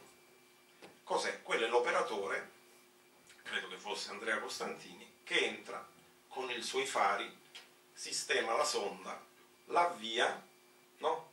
Switch on, perfetto, si gira e se ne va e vedete la luce scende. In 30 secondi è uscito dalla grotta? però la luce con cui noi stessi l'aspettavamo fuori e lui stesso abbiamo brigato a riprendere l'attrezzatura, sarà passato mezz'ora, ma la luce di noi che lavoravamo fuori non viene percepita perché bastano 30 secondi, si allontana quel cunicolo, percorre quel cunicolo, la luce diminuisce, non c'è più. Questo era alle 11.07, vedete, proprio all'inizio della faccenda. Ma dalle 14.22 alle 14.23, in un altro minuto registrato, vedete che la sonda percepisce o ha percepito dei flash, flebili flash, cioè piccole quantità di luce che si accendevano nella grotta al buio. E noi non c'eravamo più, erano sono passate tre ore dalla immersione, eravamo andati via, il discorso è qualcuno è andato lì a cercare di vedere qualcosa, ma dalla parte di fuori, se non è entrato in acqua, la torcia fuori ce l'avevamo anche noi, eravamo in cinque con le torce, quindi la luce fin dentro non viene percepita. Tutto può essere, ecco perché dobbiamo continuare a verificare. Però i colleghi, anche qui la Antonella De Donno, ma anche il professor Alifano, studiando i batteri presenti dentro Grotta Zinzulusa hanno scoperto che i batteri sono della categoria dei batteri bioluminescenti, cioè fanno la luce come le lucciole. Una cosa che non sapevamo, che noi entrando in grotta entriamo con le luci, quindi non ci accorgiamo se qualcuno ha delle lucciole eventuali presenti, dovremmo stare al buio per vederle. E quindi questo è ancora l'altro coso da fare. Chi accende la luce nel buio di Zinzulusa? Di capire che cosa succede. Anche queste sono cose bellissime, importantissime dal punto di vista... E guarda caso succedono in Zinzulusa che è già una delle dieci grotte biologicamente più importanti del mondo. Quindi continuare a dare importanza a questa grotta, che già lo è, che già è importante, che già è gestita anche con i flussi turistici, perché c'è il sito più visitato del Salento, è proprio lei, ma è anche la grotta biologica più importante del mondo, quindi gestire, sì, vietare mai, però gestire, sì, gestire, fare attenzione e valorizzare, perché più cose emergono, più diventa importante anche agli occhi del, eh, dell'utilizzatore finale, del turista finale. Vi saluto con un paio di immagini, queste di Grotta Lufao, proprio qui a, a Otranto, eh, vedete sono dei buchi, sono delle cattedrali in cui è crollato il tetto e profondissime, bellissime dal punto di vista della scenografia e mi auguro di poter continuare, non altri vent'anni che non ce la facciamo più, ma di poter continuare con i giovani che già stiamo attrezzando e che in qualche modo dovranno riuscire a, a dirci sempre più cose nuove su questo ambiente particolare. Grazie.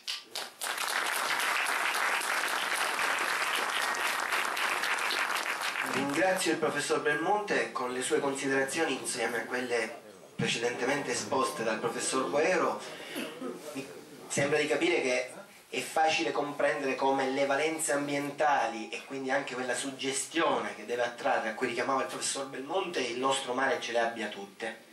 Per cui anche la nostra ambizione di vedere istituita quanto prima un'area marina protetta insomma trova le sue piene giustificazioni. Ma cosa accade poi quando si è in un'area marina protetta? E a questo e soprattutto ai problemi e anche alle utilità legate ad un'attività di protezione, di tutela di queste valenze ambientali, ci affidiamo alla professoressa Simonetta Fraschetti. Prego. Buongiorno. Sì, speriamo.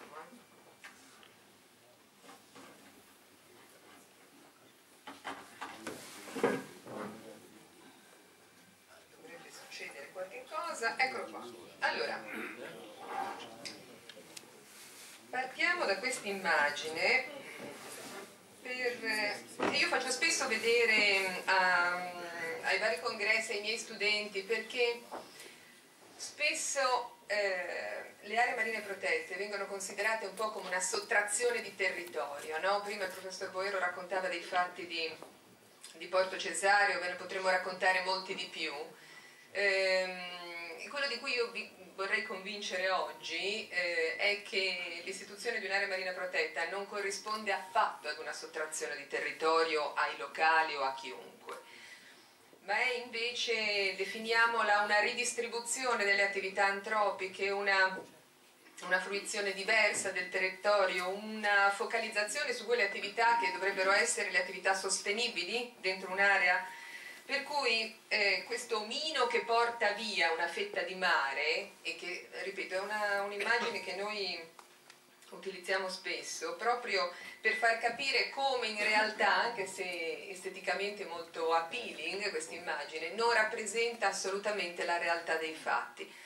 Al contrario, le aree marine protette sono un modo per far emergere meglio e di più tutti quegli aspetti di cui hanno parlato i colleghi prima.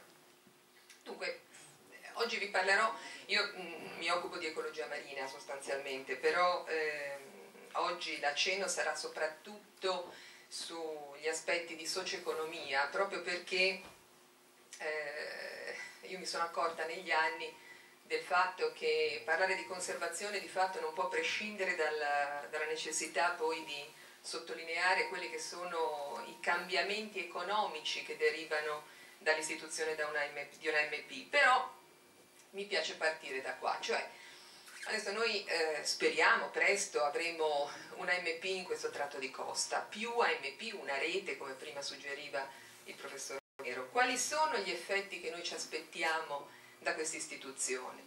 E queste ad esempio sono due, eh, due rappresentazioni grafiche di un'analisi che è stata fatta molto recentemente, è stato pubblicato nel 2016 questo report. Vedete Beh, gli andamenti sono inequivocabili, no? inequivocabili perché, perché tornano i pesci, ne tornano tanti, chiaramente se le aree marine protette vengono ben gestite, non c'è soltanto un riflesso sulla fauna ittica che è una cosa che ci aspettiamo e che ci piace molto, ma c'è un riflesso poi anche da un punto di vista del paesaggio, perché per una serie di eh, processi ecologici che adesso non saremo qui a discutere però non fa bene soltanto a, alla fauna ittica ma anche a tutto quel paesaggio che poi in qualche modo il professor Belmonte prima mostrava. Quindi c'è un ritorno, un recupero dei nostri sistemi che spesso sono disturbati perché anche se prima il professor Boero diceva che qua le attività sono sicuramente meno intense, la costa è meno eh, sviluppata di quanto non possa essere in altre parti del Mediterraneo, però in effetti se noi andiamo sott'acqua un po' di disturbi li vediamo a come. Allora, le aree marine protette in Mediterraneo non, non sono poche, vedete tutti quei puntini rossi eh, in, questo, in questo grafico che vedete qua, quelle sono tutte aree marine protette che sono state studiate e, che, e, i cui risultati vedete poi appunto in questi grafici a sinistra. Quindi tornano i pesci e eh, tornano tutte quelle componenti che poi sono importanti per, per i pesci stessi. Ecco, quindi questa è l'idea, no? Lo vedete il, il rosso e il verde. Eh, il rosso è quello che dovrebbe succedere quando eh, un'area viene protetta, il verde è tutto il mare intorno all'area protetta. Noi questa, questo tratto di costa lo conosciamo già molto bene. Eh, Gennaro Belmonte prima ha fatto vedere tutta una serie di, di studi molto importanti che sono stati fatti in grotta. Noi abbiamo lavorato moltissimo anche fuori dalle grotte, vedete che già, è già stata fatta una cartografia, quindi vuol dire che siamo andati e Paolo D'Ambrosio, che è appunto il direttore dell'area marina protetta, stato, ha fatto il suo dottorato di ricerca su questo tratto di costa, quindi è un'area un che conosce molto bene.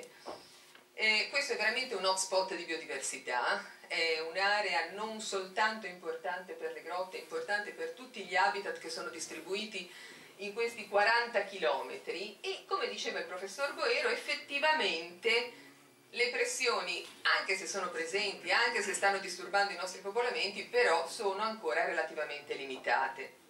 Allora, noi con l'istituzione dell'AMP vogliamo che quello che fino a un po' di tempo fa c'era Porto Cesareo, questo, vedete queste, li vedete queste fotografie?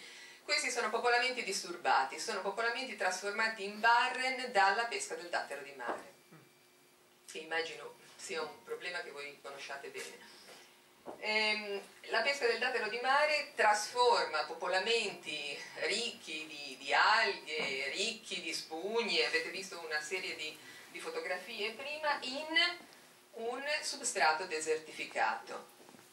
Allora, l'area marina protetta fa in modo, molto, diciamo in maniera molto semplice, di passare da quel tipo di habitat a quelle fotografie che vedete di fianco, cioè un popolamento che recupera. Questo tramite meccanismi che, ripeto, non sto qua a descrivere perché non è il, non è il momento. Se un'area è ben gestita, il disturbo si perde e il recupero è evidente in relativamente pochi anni.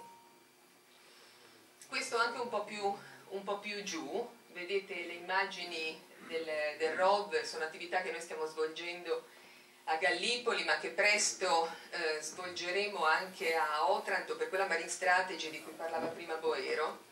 Stiamo cercando di scendere un po' più a fondo perché questi popolamenti che sono meno conosciuti non sono però meno disturbati soprattutto dalla pesca a strascico. Quindi quello che stiamo cercando di fare non è soltanto mappare i popolamenti superficiali e capire come stanno e fare in modo che l'istituzione dell'AMP li faccia tornare ad uno stato predisturbo, ma andare un po' più a fondo e cercare di capire come recuperare anche questi. Allora, vi dicevo però che nonostante io appunto mi occupi sostanzialmente di ecologia, eh, negli ultimi tempi io mi sono resa conto del fatto che se non si collabora con i soci-economisti si va poco lontano, soprattutto quando si parla di protezione dell'ambiente. Eh, purtroppo in alcune nazioni il tasso di fallimento delle aree marine protette sfiora il 90%, proprio perché non c'è stata questa collaborazione stretta tra ecologi, eh, persone legate alle istituzioni e persone che lavorano nel territorio, quindi quelli che noi chiamiamo i portatori di interessi.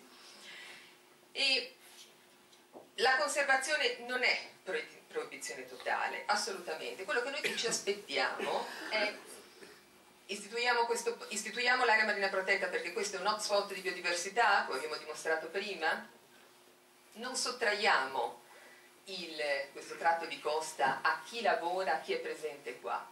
Ridistribuiamo le attività, vediamo di evitare i conflitti in modo tale che quell'hotspot rimanga un hotspot di biodiversità e non ritorni ad essere quello che era nel passato. Allora, su questa tornerò dopo. Vi faccio vedere qualche numero che sono sicura che vi piacerà molto. Allora, questo è Torre Guaceto. Questo è Torre Guaceto che è stato istituito nel 1991. A Torre Guaceto la capitaneria ha protetto il tratto di costa, quindi tutta quell'area che vedete alla vostra nella slide sulla, sulla vostra destra per molti anni. Nessuno ha potuto pescare lì per un lungo periodo. Ehm, c'erano un po' di casi di pesca di frodo, vedete qua, ma il trend poi è diminuito moltissimo nel, nel tempo. E ehm, relativamente pochi pescatori che però non potevano pescare all'interno. Dopodiché, eh, a partire dal 2005, abbiamo cominciato con questa attività di, di pesca sperimentale. Pesca sperimentale voleva dire accordo tra i pescatori residenti e l'università che ha coordinato le attività. E adesso vi faccio vedere qualche cosa che vi piacerà molto. Non ho la fotografia della faccia del pescatore che, che ha tirato le reti la prima volta che hanno ricominciato a pescare all'interno dell'AMP. I pescatori piangevano perché eh, hanno trovato eh, non soltanto da un punto di vista della qualità del pesce, ma le dimensioni, come non ricordavano da anni. E, ehm, e, e voi vedete quel, quel, grafico sopra, in e out, significa, sì, nel tempo poi come potete vedere effettivamente c'è stata una flessione, ma la cosa importante è che dentro l'area marina protetta la pesca dava dei risultati straordinari in termini di composizione, in termini di eh, dimensioni e quindi di peso, ma soprattutto come conseguenza in termini di ritorno economico. Il ritorno economico lo vedete in quell'arancione, adesso senza entrare nei dettagli e nelle tasche dei nostri amici pescatori, però voi vedete che senza l'area marina protetta il guadagno è decisamente inferiore a quello che accade pescando in maniera coordinata all'interno e all'esterno dell'area marina protetta. Volete qualche dettaglio in più però? Allora, 154 giorni di pesca fuori, il risultato, diminuiamo la pesca fuori dell'area marina protetta, la intensifichiamo dentro, la integriamo dentro e il risultato economico cambia completamente. Ora i pescatori sono contentissimi a Torre Guaceto, c'è un, un'attività che è assolutamente coordinata tra ente gestore, famiglie e ricerca scientifica che sta monitorando gli effetti di questa pesca che comunque noi continuiamo a considerare sperimentale. Ma cioè, mi pare evidente che da un punto di vista economico il risultato sia veramente straordinario. Quindi vedete che qua sopra sulla slide c'è una domanda, no? Istituire aree marine protette contribuisce al benessere delle comunità locali? Certamente sì. Contribuisce come? Cambia il risultato, cambia l'interazione con, con, con i locali, cambia eh, vorrei dire la qualità del pescato e la soddisfazione da parte del, del, pescatore di fare qualche cosa che oltre ad essere economicamente vantaggioso è anche assolutamente giustificato da un punto di vista ecologico. Allora, non finisce qua. Eh, questa è l'area marina protetta di Porto Cesario. Vabbè, dell'area marina protetta parlerà poi Paolo D'Ambrosio. Questa area marina protetta è molto diversa da un punto di vista... Scusate è molto diversa da un punto di vista socio-economico rispetto a, a Torre Guaceto. Torre Guaceto avete visto prima, erano cinque famiglie di pescatori, quindi una pressione decisamente inferiore, un, un, territorio sostanzialmente molto meno urbanizzato, con Porto Cesareo le problematiche cambiano. Prima Boero raccontava dei conflitti che c'erano inizialmente in quest'area, però il processo ha portato a veramente un cambiamento straordinario da un punto di vista delle interazioni tra l'ente gestore e i locali e vorrei farvi vedere anche qui qualche numero perché mi sembra che siano importanti. Queste sono tutte attività assolutamente sostenibili e assolutamente ehm, consentite all'interno dell'AMP. Stiamo parlando di subacquea, stiamo parlando di balneazione, eh, stiamo parlando di attività che a Porto Cesario sono diventate assolutamente fiorenti e totalmente coordinate o in gran parte coordinate con l'ente gestore. Qualche numero, questi sono euro, eh, guardate soltanto i corsi sub che negli anni sono cresciuti tantissimo e, e che stanno portando a eh, un'economia veramente florida all'interno di un'area che certamente non aveva queste caratteristiche vent'anni fa.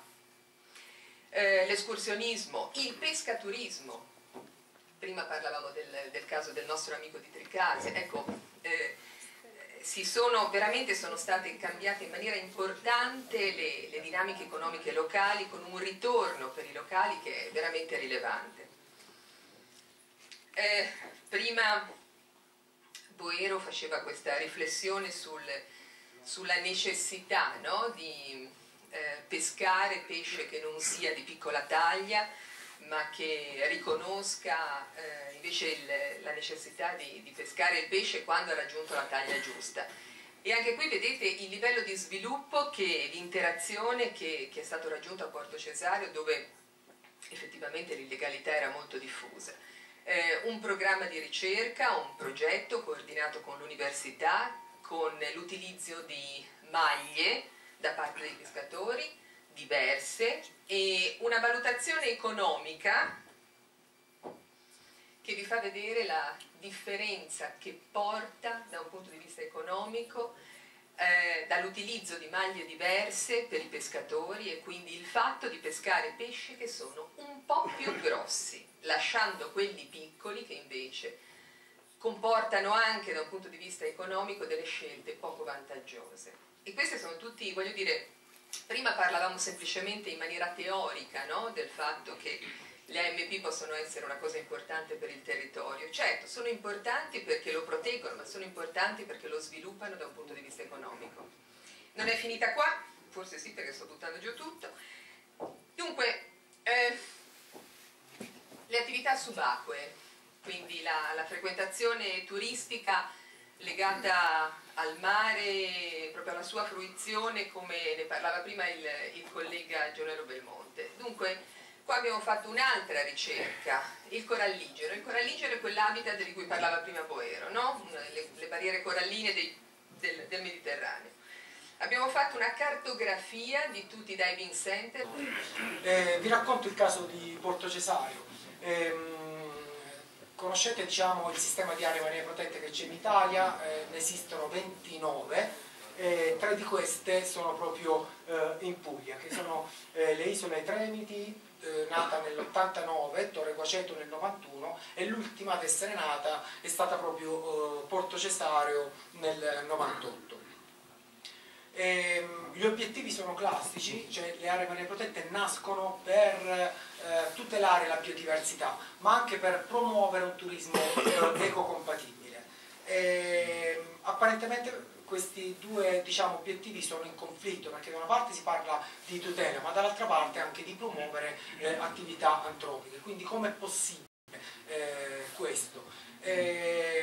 Eh, eh sono comunque obiettivi che si sposano bene con la ehm, eh, direttiva sulla strategia eh, marina quella appunto citata dal professor Boero nata nel 2008 che impone alle acque appunto, eh, della comunità europea di, di raggiungere il buono stato ambientale, conservando la biodiversità, mantenendo le attività economiche legate al mare, quindi mantenendolo in modo sostenibile. Attenzione, questo ha rivoluzionato la conservazione, perché vuol dire che adesso la conservazione ha un approccio economico, quindi non, non, non guarda solo l'aspetto ambientale, ma cerca anche di tutelare le filiere eh, economiche e questo è un aspetto molto importante che ha reso un po' più flessibili i decreti istitutivi delle, delle aree marine protette. E vi racconto appunto la nascita di, di Porto Cesare che è stato un po' emblematico eh, non solo a livello locale ma l'istituzione dell'area marina protetta di Porto Cesare è stata emblematica quindi a livello nazionale perché è stato un caso eh, di un'area marina protetta istituita eh, di grandi dimensioni, quindi la terza eh, in Italia, eh, sono 32 km di costa, comprende tutto il comune di Porto Cesario, 10 km della costa di, di Nardò, in un contesto ambientale eh, molto delicato, quindi rappresentato da tre siti di interesse comunitario e due parchi regionali. Eh, uno ricade nel comune di Nardò e l'altro a nord che ricade eh, nel comune di, di Porto Cesario.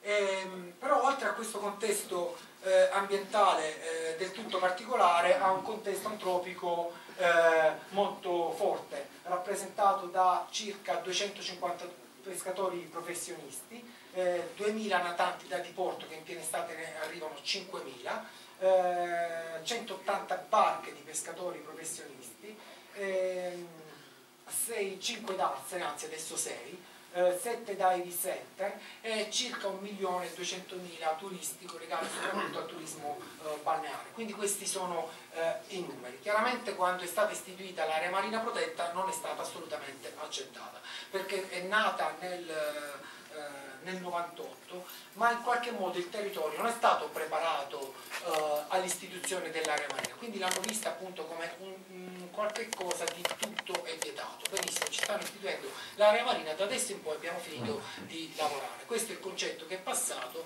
da quel momento in poi è nata una guerra non a livello locale ma a livello nazionale, partivano con i pullman, i pescatori andavano a bruciare i cassonetti eh, sotto il, gli uffici del Ministero dell'Ambiente, quindi cosa diciamo, che è andata a finire proprio su Rai 1 e nei telegiornali, quindi una contestazione veramente eh, molto forte. E, pensate, nata nel 98 è iniziata la gestione nel 2005, quindi eh, eh, diversi anni dopo eh, l'istituzione. E siamo partiti così, questo era nel 2005, queste sono le boe gialle che ehm, eh, qualche modo eh, fanno parte della, delle zone A, cioè vanno, vanno, a perimetrare le zone A eh, dell'area marina protetta.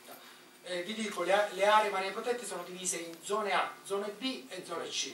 le zone A eh, sono quelle zone in cui tutto è vietato, ma non entrano in conflitto perché costituiscono l'1% solitamente dell'area marina, sono delle piccolissime dimensioni. Gran parte dell'area protetta sono zone B, zone C dove è permesso sia una pesca sportiva, una pesca professionale, ehm, eh, attività di diving e quant'altro. Eh, quindi queste erano le, le, nostre zone A dell'area marina protetta, queste boe, benissimo, ci avete messo le, le, le boe gialle per perimetrare zone A, noi le usiamo per attaccarci le barche e ci peschiamo, quindi ci avete fatto un favore, era, eh, siamo partiti in questo, in questo modo, quindi capite la situazione del momento. Quindi appena siamo partiti abbiamo dato un'identità eh, all'area marina protetta, quindi abbiamo ripristinato chiaramente le zone A dell'area marina protetta e eh, abbiamo eh, istituito immediatamente un, una squadra di monitoraggio quindi in modo tale da monitorare le attività antropiche eh, della riserva nonché un'attività anche di sensibilizzazione.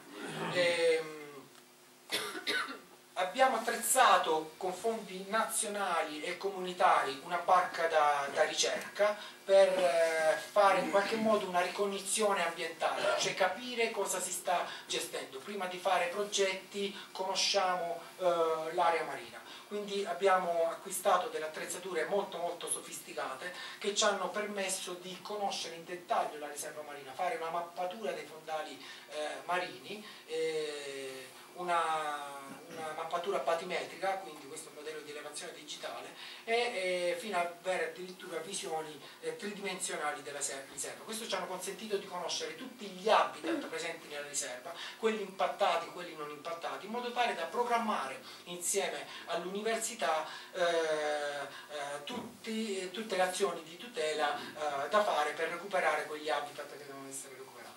Eh, chiaramente ehm, eh, tra l'altro questi strumenti, grazie proprio al CONISMA, adesso sono entrati in rete in un sistema nazionale e quindi noi supportiamo progetti nazionali e internazionali, grazie proprio eh, al CONISMA di Lecce. Quindi cosa vuol dire questo? Che arrivano da noi, a, quindi a Porto Cesario, studenti non solo locali, non solo di altre città italiane, ma di altri paesi, portoghesi, spagnoli, e vengono a imparare questi strumenti. Molto spesso questi strumenti eh, si imparano teoricamente all'università, però poi magari non ci sono i fondi per acquistarli. L'area marina ci ha permesso di accedere via preferenziale a determinati tipi di fondi, acquistare questi strumenti e con l'università li abbiamo messi in rete. Quindi questi strumenti sono diventati una fonte, una ricaduta economica nel territorio, una fonte di guadagno anche per coprire i costi di gestione per, per l'area marina. Eh, la stessa cosa però abbiamo trattato quindi le, le tematiche ambientali eh, e abbiamo messo nello stesso piano anche le attività, le, eh, le tematiche socio-economiche. Quindi abbiamo fatto la stessa cosa, una ricognizione socio-economica facendo tutti gli incontri con le, eh, tematici con i eh, vari operatori economici per capire quali fossero in qualche modo le, le criticità e andare piano piano a, su, a superarle insieme, insieme a loro.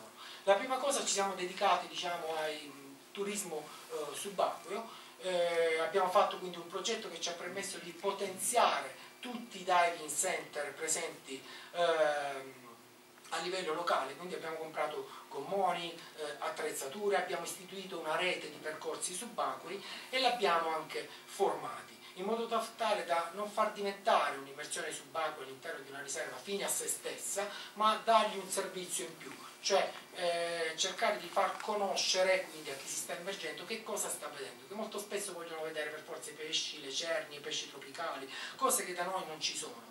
Eh, però noi abbiamo altre eh, bellezze, come ce l'avete per esempio, c'è una situazione molto simile a Porto Cesare o Otranto che sono le grotte marine, estremamente ricercate dal turismo, dai turisti eh, subacquei. E quindi abbiamo spiegato come poter riuscire tra virgolette a commercializzare gli ambienti di, di grotta. E, tra l'altro nel nostro regolamento abbiamo imposto eh, di non fare immersioni libere eh, nell'area marina ma sono costretti a passare eh, dai diving. In modo tale quindi da avere sempre una supervisione del flusso dei turisti che passano nella, uh, nella riserva. E quindi il regolamento è, è, uno strumento che permette eh, di valorizzare l'economia uh, locale. E, ehm, e, questo chiaramente eh, poi si innesca tutto un circuito, no? perché i diving eh, quando si trovano di fronte a questi strumenti sono i primi a diventare i guardiani delle riserve. Quindi non c'è bisogno di stare costantemente a fare il controllo, ma sono i primi, poiché loro ci guadagnano dalle grotte e sanno, e quindi saranno i primi a tutelare il, il paesaggio. E quindi diventano automaticamente operatori del controllo. E questa è una rete di percorsi subacquei che noi abbiamo, quindi abbiamo sia immersioni e siti di immersioni molto profonde per immersioni estremamente tecniche, ma anche siti di immersioni possibili eh, facendo sea watching, quindi a bassa profondità. E queste sono tipiche grotte marine che noi eh, abbiamo. Ehm, eh, questi sono incontri appunto, che abbiamo avuto con, con, i diving per prepararli quindi a fare immersioni. Un'altra criticità che abbiamo eh, eh cercato quindi di di risolvere eh, è quella eh, dei pescatori professionisti. Noi, da noi ci sono circa 90, 90 barche, 250 pescatori professionisti. Questi che facevano? Eh, facevano il rimessaggio delle proprie imbarcazioni eh, sotto, cioè vicino a ridosso della costa e tutte le acque, tutti gli oli di, queste, di questi lavaggi andavano a finire eh, a mare. E non era assolutamente una condizione compatibile con con l'area marina e quindi c'era la necessità di uno scalo d'alaggio. Gli abbiamo costruito uno scalo d'alaggio eh, attraverso quindi fondi comunitari, quindi circa un milione di euro. Abbiamo fatto uno scalo d'alaggio quasi ehm, forse uno dei pochi a norma in tutta la Puglia, con una pavimentazione coibentata in modo tale da far, finire, eh, far andare a finire tutte queste acque eh, in delle vasche di depurazione. Abbiamo previsto anche dei dispositivi per la raccolta delle acque di Sintina, quindi ben attrezzato. Questo scalo d'alaggio oggi è gestito dalla cooperativa dei pescatori, quindi non solo hanno un servizio in più, ma in più loro adesso se lo gestiscono e vendono questo servizio eh, per eh, l'hanno esteso anche alle barche da, da diporto.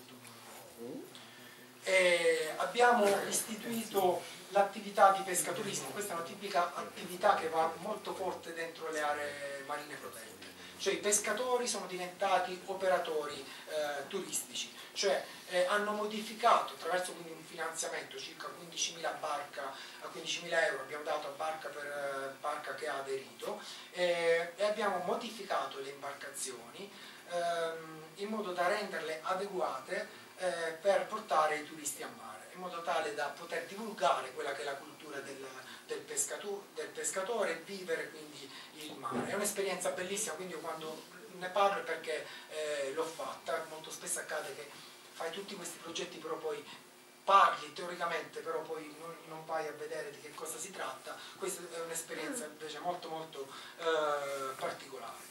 E, ehm, eh, chiaramente permette di ridurre lo sforzo di pesca perché diventa un guadagno molto più semplice con sforzi eh, minori e quindi viene preferito ai pescatori soprattutto durante il periodo estivo.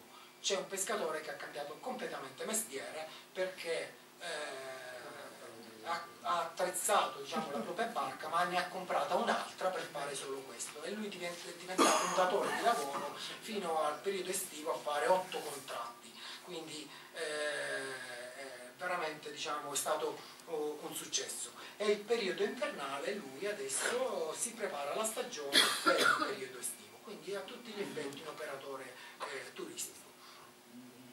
E chiaramente eh, sono delle situazioni che vanno sempre seguite. Eh, immaginate questo pescatore che ha avuto un successo in una comunità di pescatori di 250 pescatori e non c'è ancora nessuno che lo copia, cioè quindi questo è senza concorrenti. Quindi bisogna veramente portarli per mano quando si fanno eh, i, i, i, progetti. Non è detto che se uno ha successo benissimo, gli altri hanno la capacità di fare quello. E, ehm, eh, qui vediamo alcuni, eh, alcune visite durante appunto il pescaturismo, in basso a destra vedete la linea blu, la troupe di linea blu, quindi molto spesso vengono a fare trasmissioni televisive per pubblicizzare questo, questo pescaturismo. E, ehm, tra l'altro i pescatori li abbiamo resi protagonisti di numerosissimi eh, progetti, quindi eh, progetti di educazione ambientale, li portiamo i pescatori direttamente nelle scuole a far vedere diversi attrezzi di pesca che utilizzano. E, ehm, eh, tra l'altro abbiamo organizzato anche per quattro anni fermo pesca eh, mensili, eh, naturalmente eh, i pescatori sono stati pagati per questi fermi pesca. Ehm, e adesso c'è un progetto in corso, tra l'altro qui vedo Claudio Longo che è un rappresentante della cooperativa dei pescatori salentini che operano nell'area marina protetta, adesso con tante difficoltà eh, stiamo portando avanti un progetto eh, molto bello, stiamo cercando di dare il presidio slow food al pesce di Porto Cesario, per far entrare il pesce di Porto Cesario in altri mercati, perché molto spesso i pescatori sono subordinati ai prezzi fatti dalle pescherie, quindi prendono il pesce, lo portano alle pescherie, dettano il prezzo loro e via. Quindi per dare un'altra alternativa stiamo cercando eh, in un progetto fatto appunto con Slow Food di far arrivare il presidio Slow Food eh, del pesce di, di Porto Cesare. Quindi eh, questo sarebbe un successo per noi e economicamente entrerebbe in un mercato quindi molto più, più vantaggioso.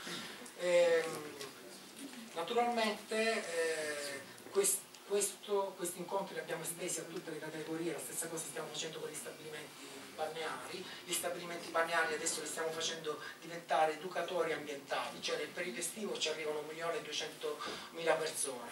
Benissimo, noi non possiamo intercettare queste, queste persone, no? perché si fermano eh, presso gli stabilimenti balneari. Allora li possiamo intercettare con gli stabilimenti balneari. Quindi organizziamo dei laboratori eh, didattici, divertenti, sia per bambini che per adulti, durante il periodo estivo per poter distinguere eh, gli stabilimenti balneari di un'area marina protetta rispetto a quelli che stanno fuori e, e quindi eh, in qualche modo questi eh, ehm, entrano anche in un sistema di pubblicità eh, molto molto eh, vantaggioso e sono ben contenti di partecipare, sono tanto contenti che contribuiscono economicamente, cioè fanno una gara e dicono io ci voglio stare in, questa, eh, in queste attività. Chiaramente tutte queste azioni concrete hanno creato fiducia, quindi non è più teoria promuovere il turismo ecocompatibile. Con la pratica abbiamo capito quali erano le criticità e insieme eh, con le varie categorie abbiamo oh, cercato di superare con delle azioni eh, concrete. A questo punto è diventato più facile fare il documento che è mh, diciamo, più complesso dell'area marina che è il regolamento dell'area marina, cioè il, il andare a regolamentare tutte le attività antropiche che esistono quindi in una riserva. Ehm, ecco, questa diciamo, è una fase un po' delicata eh, dell'istituzione di una riserva, prima eh, si istituiva la riserva e poi si faceva il regolamento. Credo che adesso, quindi vi trovate anche voi come Otranto, eh, fanno viene istituita la riserva marina e contemporaneamente all'approvazione del decreto istitutivo viene approvato il regolamento. Per cui questa fase eh, dovete affrontarla eh, prima.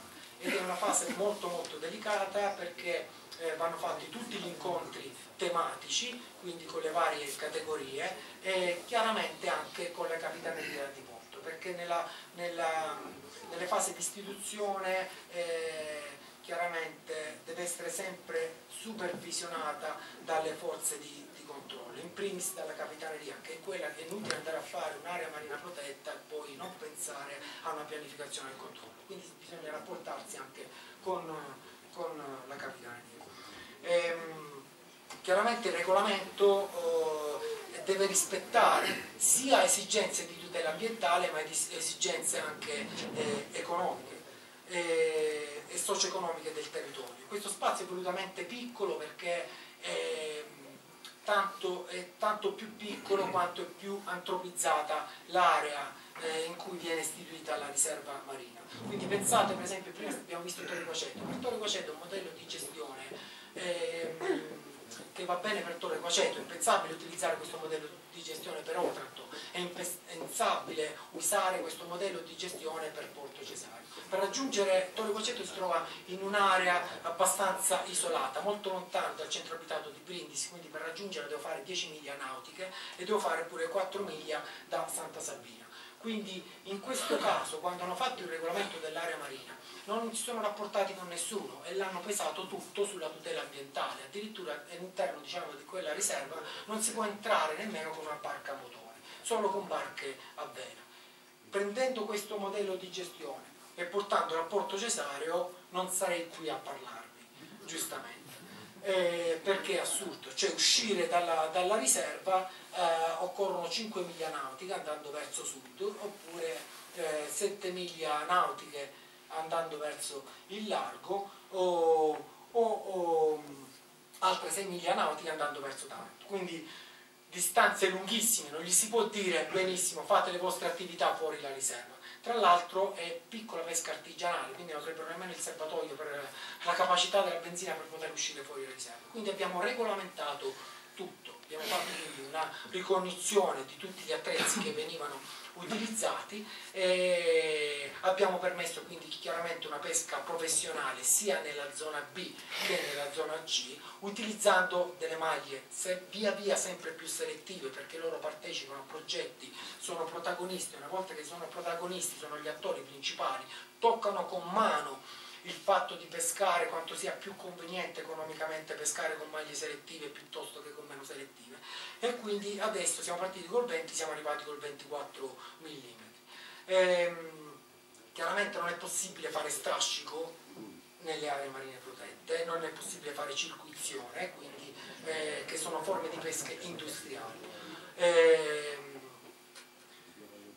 eh, la, la, stessa cosa abbiamo fatto con la pesca sportiva, quindi che è un altro elemento fondamentale da non sottovalutare, eh, è permesso diciamo, tutte le forme di pesca con, con la lenza. Attenzione, questo aspetto non è da trascurare perché molte aree marine protette nel redigere regolamenti trascurano la pesca sportiva. La pesca sportiva non è quello che va a mare con la canna la domenica, la, la pesca sportiva c'è dietro un introito economico molto molto grosso ed è una filiera economica talmente importante anche a livello nazionale. Dietro al pescatore sportivo c'è tutto l'indotto proveniente quindi dagli attrezzi che sono sempre via via più sofisticati, dalla vendita delle barche. Io dico qui non siamo a Portofino, no? la gente non si compra le barche per, per andare a largo e farsi il bagno da noi si comprano le barche per andare a pesca, quindi... Arrotondare? Sì, no, no, no, ah, no, no, così, sì, sì, sì, sì, pure questa cosa No, no, assolutamente sì, bravo, sì, sì. Eh, quindi eh, c'è tutta la pesca sportiva che comunque, come dice il pescatore, stava toccando quindi un argomento estremamente delicato che spero che si risolva a livello nazionale. Sicuramente le aree marine protette possono fare tantissimo, eh, andare a controllare il mercato dei pescatori sportivi, perché molto spesso dietro la pesca sportiva si, si nasconde quindi tutta una commercializzazione del pesce che non potrebbero fare, quindi il pescatore sportivo prende il pesce per mangiarselo, non per venderlo. Eh, quindi questo nelle riserve marine può essere diciamo, assolutamente controllato. Eh, Adesso stiamo facendo un passaggio in più, eh, quindi ci siamo dedicati a tutte le categorie, quindi diving, eh stabilimenti balneari, operatori, eh, operatori diciamo, della, della, pesca, operatori turistici in genere. Adesso stiamo facendo un passo in più grazie al SAC, metterli in rete. Eh, questa è una cosa difficile, molto semplice, è molto più facile trovare ehm, i soldi per fare le cose è molto difficile mettere in rete eh, tra di loro diversi imprenditori.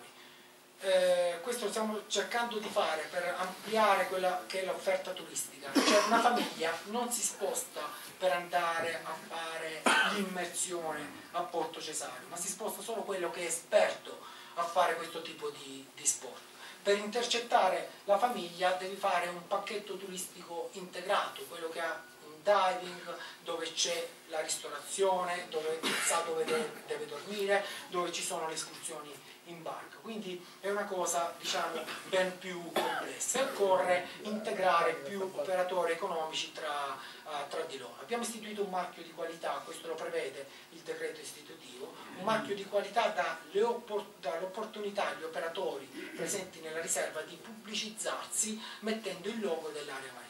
Chiaramente per aderire a questo marchio di qualità um, deve rispettare determinati requisiti eh, ambientali a secondo della struttura che si prende in considerazione.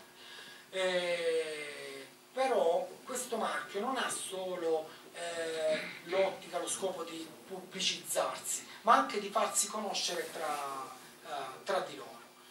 questa rete la stiamo istituendo, l'abbiamo infittita con il SAC, il Sistemi Ambientali Culturali, sono falliti in tutta la Puglia, ma non perché, ma, ma non perché eh, sono sbagliati, sono concettualmente, eh, ritengo validissimi, infatti da noi non sono falliti, dovevano essere mediati meglio dagli enti locali che hanno utilizzato questi, questi fondi.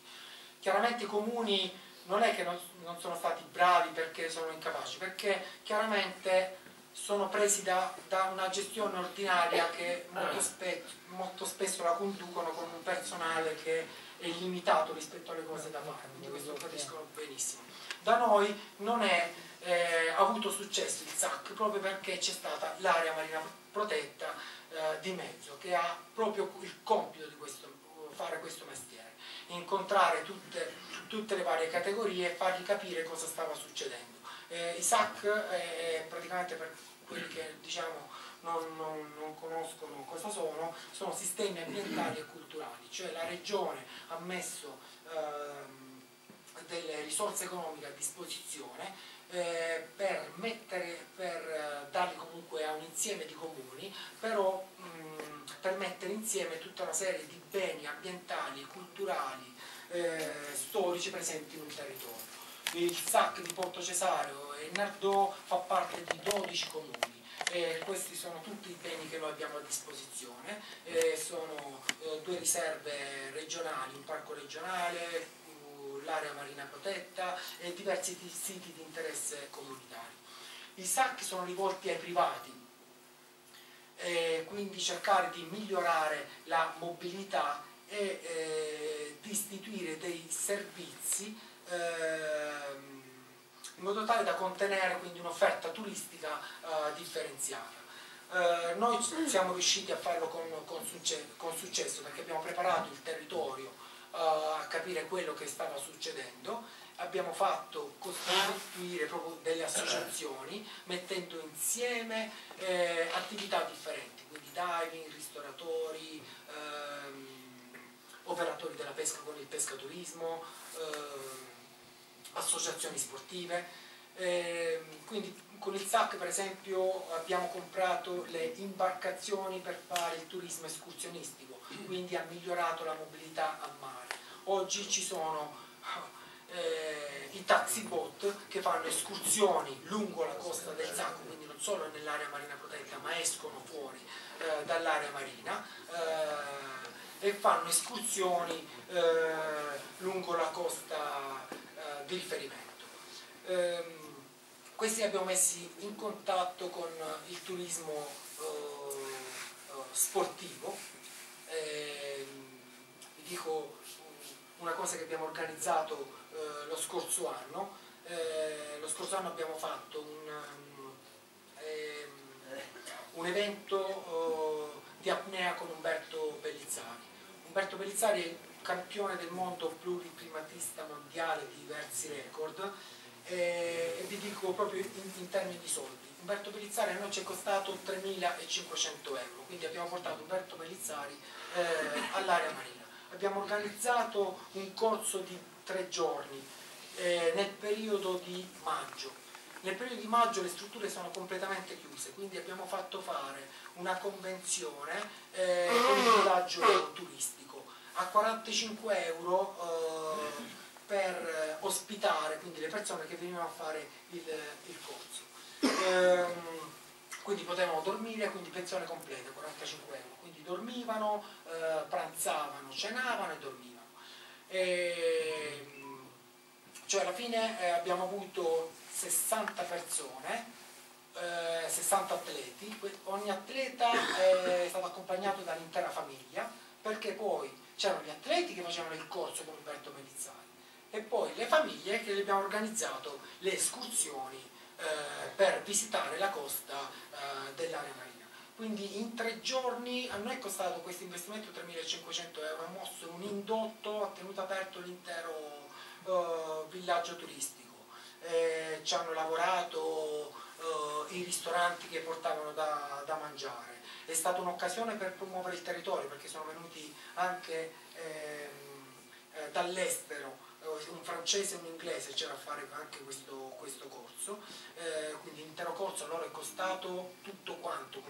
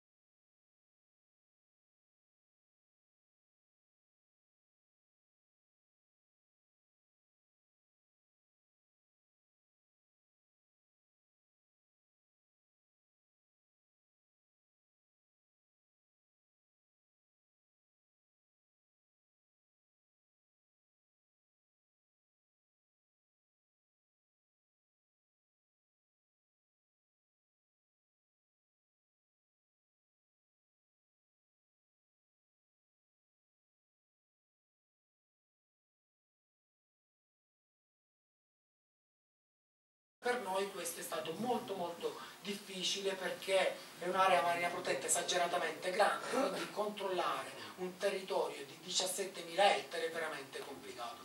E ci siamo inventati un progetto fantastico. Ehm, abbiamo utilizzato le torri costiere, quello che diceva prima il professor Boero, le torri costiere che prima erano vedette eh, per evitare gli attacchi dei pirati, adesso le nostre torri costiere, che ce ne sono sette lungo lungo la, la costa eh, eh, abbiamo montato un sistema di telecamera intelligente, cioè non c'è bisogno che c'è l'operatore, quindi è attivo eh, notte e giorno, eh, registra, è tarato per alcuni illeciti, in automatico quindi di notte può intercettare un illecito il radar dice alla telecamera segui quella barca che sta in zona A e quindi quella segue automaticamente tutti i movimenti dell'imbarcazione e, e, viene tutto registrato. Il giorno dopo l'operatore si trova ai vari alert che può andare a visionare con estrema tranquillità e vedere cosa, cosa è accaduto e tutto viene assolutamente registrato. C'è un terminale nell'area marina protetta, che è questo che, che vedete, eh, e c'è anche un terminale presso la capitaneria di Porto. Questo chiaramente è un supporto ehm, eh, per pianificare poi le operazioni contro eh, coloro che fanno illeciti. in questo periodo eh, noi stiamo sempre sui giornali, grazie alle operazioni del nostro comandante Morello, cioè una, una persona fantastica, molto molto operativa, quindi lo posso, molto, lo, lo posso tranquillamente dire, eh, si è presentato veramente poco formale nel senso buono e molto molto uh, uh, operativo. Quindi abbiamo fatto tutta una serie di, di operazioni che nella storia di, di, degli anni di gestione dell'area marina protetta non abbiamo mai, eh, mai fatto, andando veramente a colpire chi fa criminalità organizzata. Non sto parlando di piccoli reati, ma di reati importanti. Cioè, noi abbiamo avuto situazioni nella riserva marina che andavano a commercializzare su larga scala, quindi pescavano, non è il singolo pescatore di frodo che anziché prendere 5 kg pesce te ne prende 7, quindi il piccolo reato che ci eh, gestiamo da soli, ma stiamo parlando di reati organizzati che venivano a pescare grossi quantitativi e venivano con il camion frigo a caricarli. Noi abbiamo registrato tutte queste eh, operazioni, sapevamo tutti i movimenti e poi abbiamo colpito con delle operazioni molto molto eh, importanti eh, eh, bloccando appunto queste, queste situazioni. Quindi vi faccio vedere se parte il video.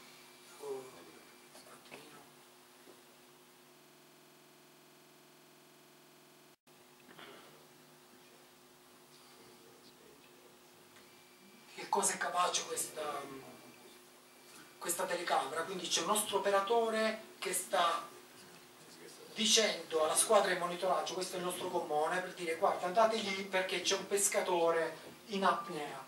Questo stava proprio sotto costa e stava facendo dei datteri di mare.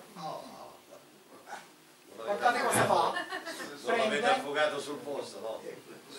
E scappa. Questo sta, vuol dire che stava con, eh, in mare con le scarpe da ginnastica. Quindi era consapevole.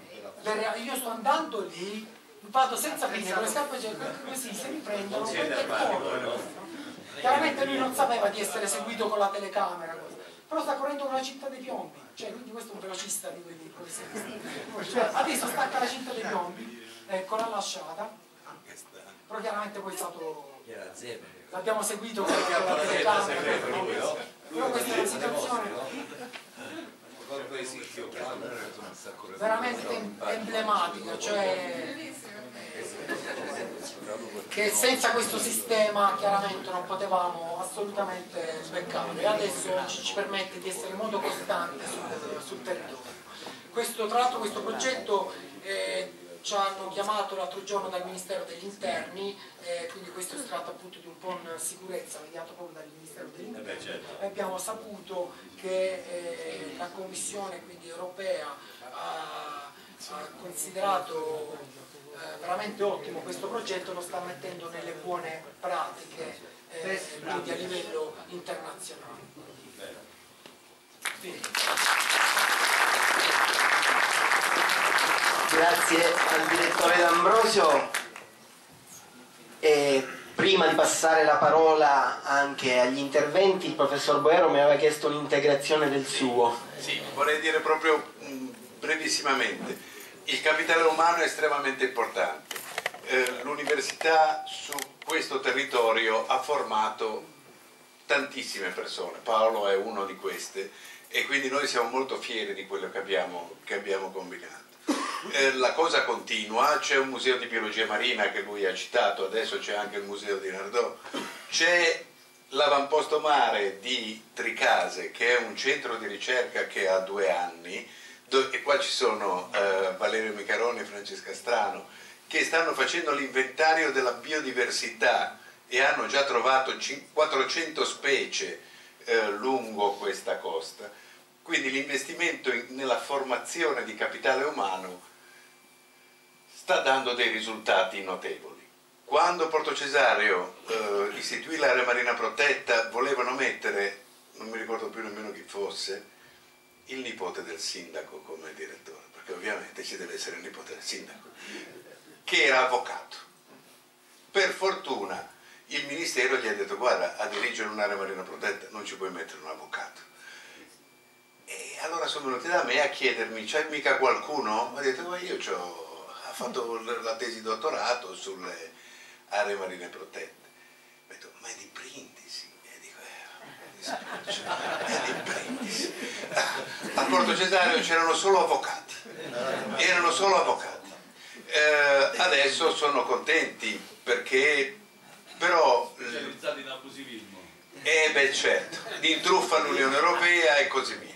Eh, a Torre Guacetto i pesci sono tornati, anzi, ma non è che non ci fossero, ha fatto vedere, non c'è praticamente niente. Quello che sta facendo Paolo adesso, prima che ci sia la ricostituzione dei sistemi naturali, ci deve essere la ricostituzione dei sistemi culturali e lui sta facendo questo. Eh, quando sarà riuscito a fare questa operazione, e, e, ci sta riuscendo con grande successo, poi tornerà anche la natura, per il momento la natura è ancora, eh, perché le pressioni sono fortissime, però sta ricominciando, sta ricominciando. Ma prima che ricominci la natura devono, gli uomini devono imparare a comportarsi in un modo differente e, quindi, e bisogna fargli vedere che gli conviene.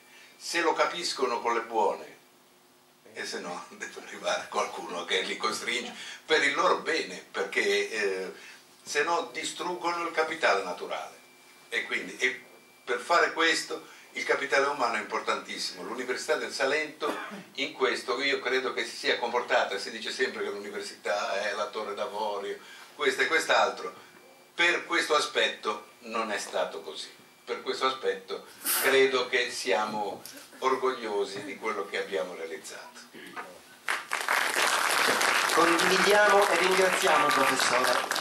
Ci ha raggiunti nel frattempo il senatore Bruni che già sindaco di Otranto qualche annetto fa si adoperò per dare avvio a questa procedura di istituzione dell'area marina protetta che poi purtroppo si è allungata nei tempi, soprattutto anche per questioni legate alle risorse che sono necessarie ogni volta che si istituisce un'area marina protetta. E quindi io lo inviterei per un suo saluto e anche per un breve ricordo, visto che poi è stato da senatore impegnato nuovamente proprio in questi ultimi periodi a riattivare questa procedura che è andata in Commissione Ambiente, ha avuto anche questa modifica del decreto di cui vi parlavo all'inizio e che oggi ci può finalmente vedere impegnati in maniera più concreta per l'istituzione di quest'area marina che tanto desideriamo.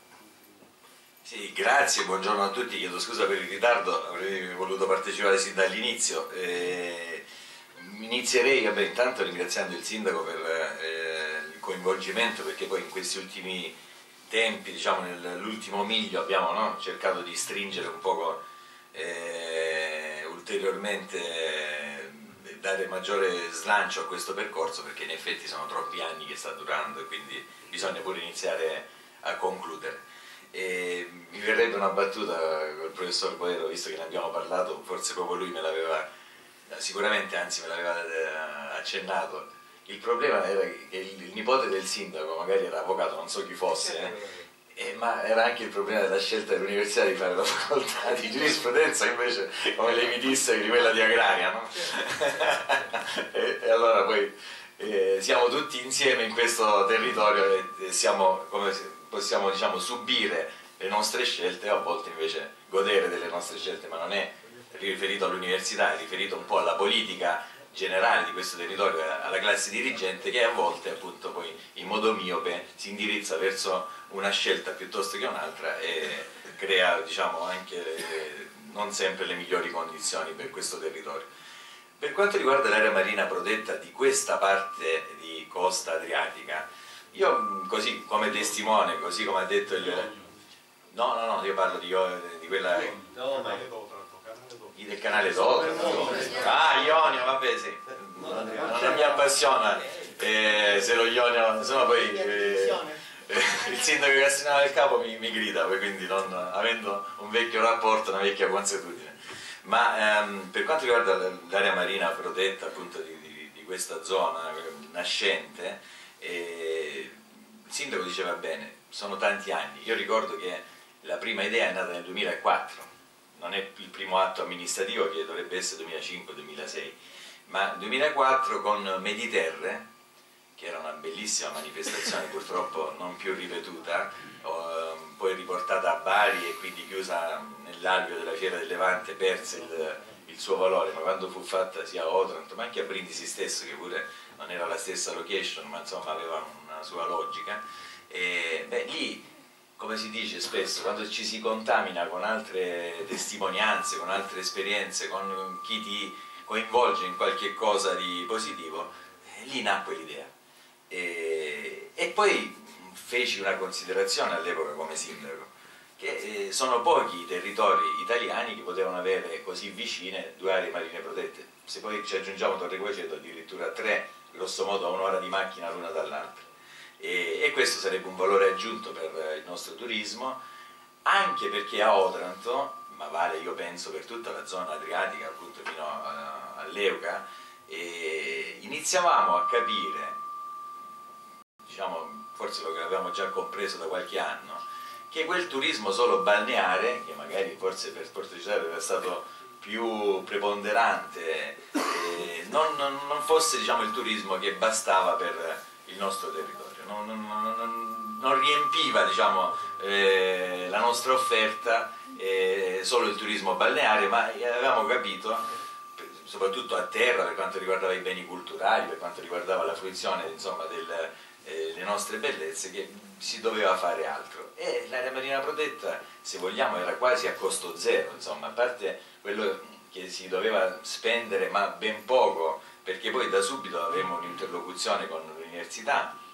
Antonella De Donno curò questo rapporto da subito con i suoi colleghi, eh, col professor Boero, con la professoressa Fraschetti, parlammo da subito e trovammo nell'università un interlocutore, lì ha ragione il professor Boero, veramente che si spende per il territorio e queste buone esperienze non portano solo ad avere D'Ambrosio direttore dell'area marina protetta di Porto Cesario e quindi il primo ostacolo che ci era stato rappresentato dal Ministero, chi fa gli studi e quanto costano gli studi, noi gli dicemmo all'inizio quasi provocatoriamente, ma diciamo poi realmente e concretamente che si risolveva perché c'era l'Università degli Studi di Lecce che eh, avrebbe messo a disposizione il know-how e soprattutto proprio eh, studi e quanto fosse necessario per la perimetrazione dell'area.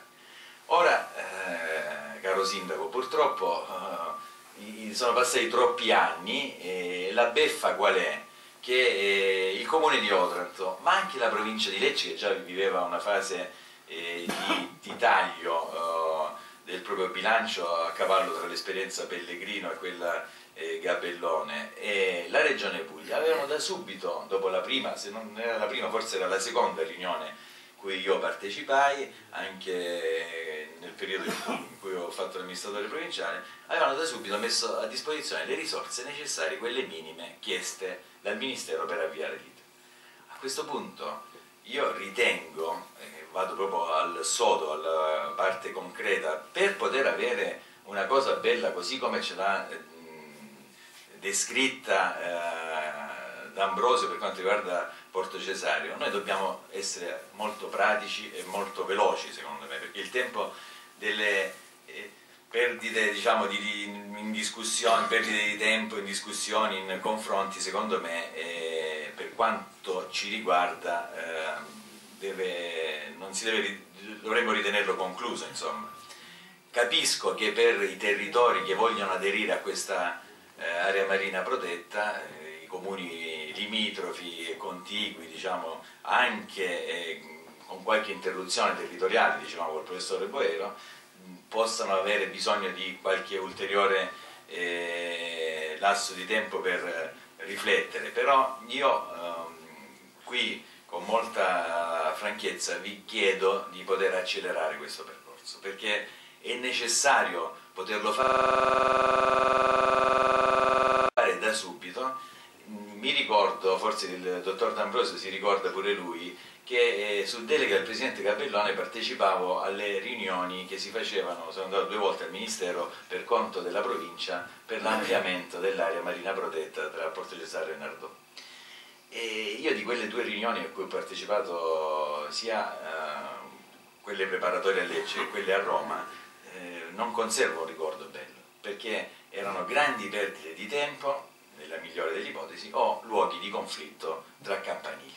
Allora, io penso che tutto ciò di cui bisogna discutere, eh, il, come si possiamo, possiamo, dire, il lavoro di limatura eh, che è necessario in questa fase, bisogna farlo, però non bisogna darsi dei tempi lunghi e cercare da subito di coinvolgere il più possibile i soggetti territoriali e, eh, diciamo che vogliono starci in questo progetto perché poi dopo sarà un po' più complicato. Anche. Per quello che diceva prima il direttore dell'area marina protetta di Porto Cesare, cioè se adesso si va direttamente alla regolamentazione, si cerca di essere più capillari nella eh, organizzazione burocratica, amministrativa, normativa, eh, significa che poi dopo sarà più complicato andare a fare delle modifiche. Finisco eh, il mio intervento eh, portandovi anche la mia esperienza eh, eh, in questa legislatura da parlamentare, io per un paio d'anni sono stato in Commissione Ambiente, ho fatto il capogruppo del PDL Forza Italia e poi l'ho lasciata per altri motivi, eh, ma ho continuato a seguire la legge di riforma eh, dei parchi eh, quando appunto era già necessaria perché è iniziato questo percorso nella scorsa legislatura circa un ventennio dalla eh, emanazione e devo dirvi che eh, l'esperienza vissuta a Roma mi, con, mi conferma nel, in quella che è un'idea che ho maturato appunto negli anni in cui ero amministratore locale di Otrat della provincia di Lecce che eh, il legislatore è distratto e la politica nazionale tranne qualche eccezione sul tema dei parchi eh, naturali che siano nazionali, che siano regionali ma anche le stesse aree marine protette non è tutta sensibilizzata nel modo giusto. Si fanno piccole schermaglie eh, su questioni diciamo abbastanza eh, spicciole e, e, invece non si punta a livello nazionale eh, nel modo più risoluto su quello che invece sono queste importanti valorizzazioni del, dei nostri territori e su questo diciamo non porto, non ho, non, non ho registrato una grande, ma qui il discorso è trasversale, eh, non riguarda particolari forze politiche. Non c'è grande attenzione e quindi anche solo una legge di riforma dei parchi come quella che è stata approvata nello scorso novembre ci ha messo più di tre anni per fare un solo passaggio, lì non è un problema di bicameralismo perché se uno per fare un solo passaggio eh, al Senato o lo stesso poteva, è stato nella scorsa legislatura alla Camera eh, significa proprio che c'è un problema di veti incrociati e di scarsa attenzione per questi temi. Allora noi dobbiamo, secondo me, mettere un po' di più del nostro per eh, colmare eh, questo divario per cercare appunto di realizzare l'area marina protetta. Penso che tutti coloro che sono qui presenti questa mattina possono fare molto per questo, io eh, continuerò a fare diciamo, il percorso che avevo avviato come sindaco e che diciamo, ho voluto seguire anche con l'amministrazione comunale eh, del sindaco Carini perché penso che eh, è una scommessa per il futuro del nostro territorio ed è una scommessa, come ci diceva Paolo D'Ambrosio, sicuramente vinta già in partenza, già il giorno che ci sarà il decreto istitutivo dell'area marina protetta e quindi non possiamo non portarla a termine perché sarebbe veramente proprio una specie di suicidio eh, da parte di tutta la classe politica, di tutta la classe dirigente del nostro territorio. Grazie. Grazie al senatore Bruni. Io prima di passare la parola ai miei colleghi sindaci e amministratori chiederei un intervento, un saluto del comandante Morello per la capitaneria di Porto di Gallipoli e poi al consigliere Cristian Casili. Buongiorno a tutti, grazie Sindaco dell'invito. Vista l'ora sarò molto sintetico, eh, mi costringete a spezzare una lancia in favore degli avvocati perché sono di tradizioni familiari, avvocati lo sono anch'io ma ho scelto un altro mestiere per passione, quindi mi costringete in tutto ciò che dirò, non è eh, contro perché lo sono anch'io. Eh, vi posso mh, portare come esperienza professionale quella mia che mi ha contraddistinto negli anni passati, sono abbastanza lunghi, oltre un ventennio, le esperienze di altre aree marine perché comunque sono stato, ho avuto modo di operare in uh, compartimenti che avevano aree marine protette all'interno, Caporizzuto, le isole Pelagie e uh, mi riallaccio alle parole del dottor D'Ambrosio con cui ci siamo incontrati a novembre ci siamo solo guardati con molta sincerità e umiltà, ci siamo detti le cose che ci dovevamo dire e credo che eh, dovunque sono stato con le aree marine ho, ho, avuto un rapporto splendido, anche qui sarà eh, così. Le, è bello che eh, l'istituzione di un'area marina venga affrontata come eh, si sta facendo ora, perché come diceva il dottor D'Ambrosio, in passato l'ho registrato anche quando fu fatta quella di Caporizzuto nel lontano 91, piombavano addosso all'utenza del mare che la percepiva come un vincolo. Io ovviamente vi parlo in modo molto sintetico dal punto di vista operativo perché non è mio compito, però credetemi, non è la presenza del vincolo che danneggia il mare, è l'assenza di regole che eh, provocano determinate conseguenze e tutti i trend registrati dalle aree marine di più datata istituzione sono quelli che vi hanno prospettato, non sono luoghi comuni, perché si registra eh, mh, e poi affronta anche poi il problema rischio, tra virgolette, dell'area dell marina. La regolamentazione dell'area marina eh, porta inevitabilmente anche ad una eh, modifica dell'approccio eh, al mare da parte di chi ci lavora e dal diving il fenomeno della pescaturismo la pesca eh, professionale, la piccola pesca, sono quelli che ne traggono i maggiori benefici perché eh, diventa un'area dove poi l'attenzione anche da parte della Guardia Costiera viene amplificata per il semplice motivo che il Ministero dell'Ambiente nel momento in cui istituisce poi un'area marina protetta stipula delle convenzioni a livello nazionale che tra virgolette ci obbligano a garantire determinate ore di eh, presenza di motovedette e di personale a terra e quindi si crea un sistema virtuoso all'interno di, quell'area che non può che far trarre beneficio a tutti. L'altro problema inevitabile è che comprendete bene che nel momento in cui si registra un'area che eh, viene tutelata e che comunque ha eh, un habitat marino molto più sostanzioso rispetto al resto, il fenomeno che eh, purtroppo accompagna le aree marine è quello della pesca di frodo e lì provvede la Guardia Costiera. Nel momento in cui c'è un dialogo eh, diretto con gli enti parco, un sistema di vigilanza come quello che abbiamo, una sinergia e una comunità di intenti, vi posso garantire che eh, eh, si possono ottenere grandi risultati perché duole dirlo ma purtroppo eh, nel momento in cui si registrano questi fenomeni è perché c'è dietro tutto poi un mercato che va a danneggiare poi la pesca professionale e chiudo in modo molto sintetico riallacciandomi alle parole del professor Boero che poi alla fine ciò che governa il tutto è il senso civico delle persone e in questi sistemi i primi campanelli d'allarme poi sono gli autorizzati, cioè i pescatori che possono lavorare là dentro, che spesso e volentieri poi vedono nella istituzione in questo momento rappresento quell'ente da interessare perché diventano i primi guardiani che ti segnalano l'abuso e questo non può che rappresentare, credetemi, un beneficio per tutti. Grazie.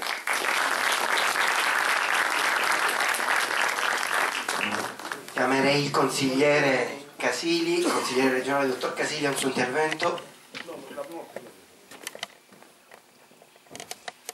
Buongiorno a tutti, innanzitutto io ringrazio il, il sindaco scusate, per questo interessante incontro che ha offerto degli spunti importanti. Ma permettetemi una parola di apprezzamento per l'attività che svolge l'Università del Salento. Quando ci sono delle eccellenze, e ringrazio per questo il professor Boero e tutti coloro che eh, hanno dato a questo territorio veramente tanto, eh, il lavoro eh, del direttore dell'area marina protetta di Porto Cesario, il dottor D'Ambrosio, è una testimonianza di quanto sia importante eh, creare questi processi culturali, perché eh, partiamo da un presupposto importante, fondamentale, la chiave di volta, lo diceva il professor Boero. Noi quando abbiamo creato o musealizzato il nostro territorio attraverso riserve o attraverso situazioni con eh, vincoli molto forti, abbiamo sortito eh, degli effetti eh, decisamente contra contrapposti rispetto alla, alla, filosofia che è quella poi di eh, tutelare diciamo, il nostro territorio. Quindi diciamo che, eh, e lo dico soprattutto ai pescatori, in, in sala ne vedo qualcuno, vedo degli amici, vedo Gino, pescatore di Tricase, pescatori diciamo, hanno un certo scetticismo nei confronti quando si parla di aree marine protette perché giustamente pensano a forme vincolistiche che vanno poi a danneggiare la propria attività. In realtà non è così e quando, e io ringrazio tutti gli interventi che, eh, ripeto, ci hanno offerto spunti interessanti, quando si dice di trovare delle coerenze con gli aspetti sociali ed, economici ed ecco che abbiamo visto come Porto Cesario, l'area marina di Porto Cesario è differente rispetto all'area marina protetta di Torre Guaceto, è proprio perché eh, un'area marina ha senso nel momento in cui si valutano quegli aspetti alla base sociali ed economici, perché sono differenti eh, gli impatti antropici che noi abbiamo avuto nel nostro Salento sui nostri waterfront marini, cioè per waterfront, waterfront marini intendo la parte, diciamo, quel buffer costiero dove purtroppo, ahimè, attività nel passato eh, in modo indiscriminato hanno poi e si sono, diciamo, come dire, hanno impattato sulla qualità della nostra costa e poi evidentemente del nostro mare. Questa è evidentemente un'opportunità molto importante, io saluto anche il senatore Bruni che si sta occupando di questa cosa perché vorrei dire l'istituzione e l'iter che poi porta all'istituzione delle aree marine protette è un iter molto farraginoso. E me ne sono occupato personalmente anche in Regione Puglia perché abbiamo cercato attraverso anche una mozione poi votata, presentata da me e poi votata all'unanimità da parte di tutto il Consiglio regionale eh, di permettere alla Regione di istituire diciamo, i parchi marini e i parchi marino terrestri perché noi abbiamo molte zone con uh, delle riserve naturali piuttosto che zone eh, ZPS o zone SIC nel, nella parte diciamo, di terra. E poi abbiamo questa forma di incoerenza con quelle che sono poi uh, la regolamentazione diciamo, sui nostri specchi marini.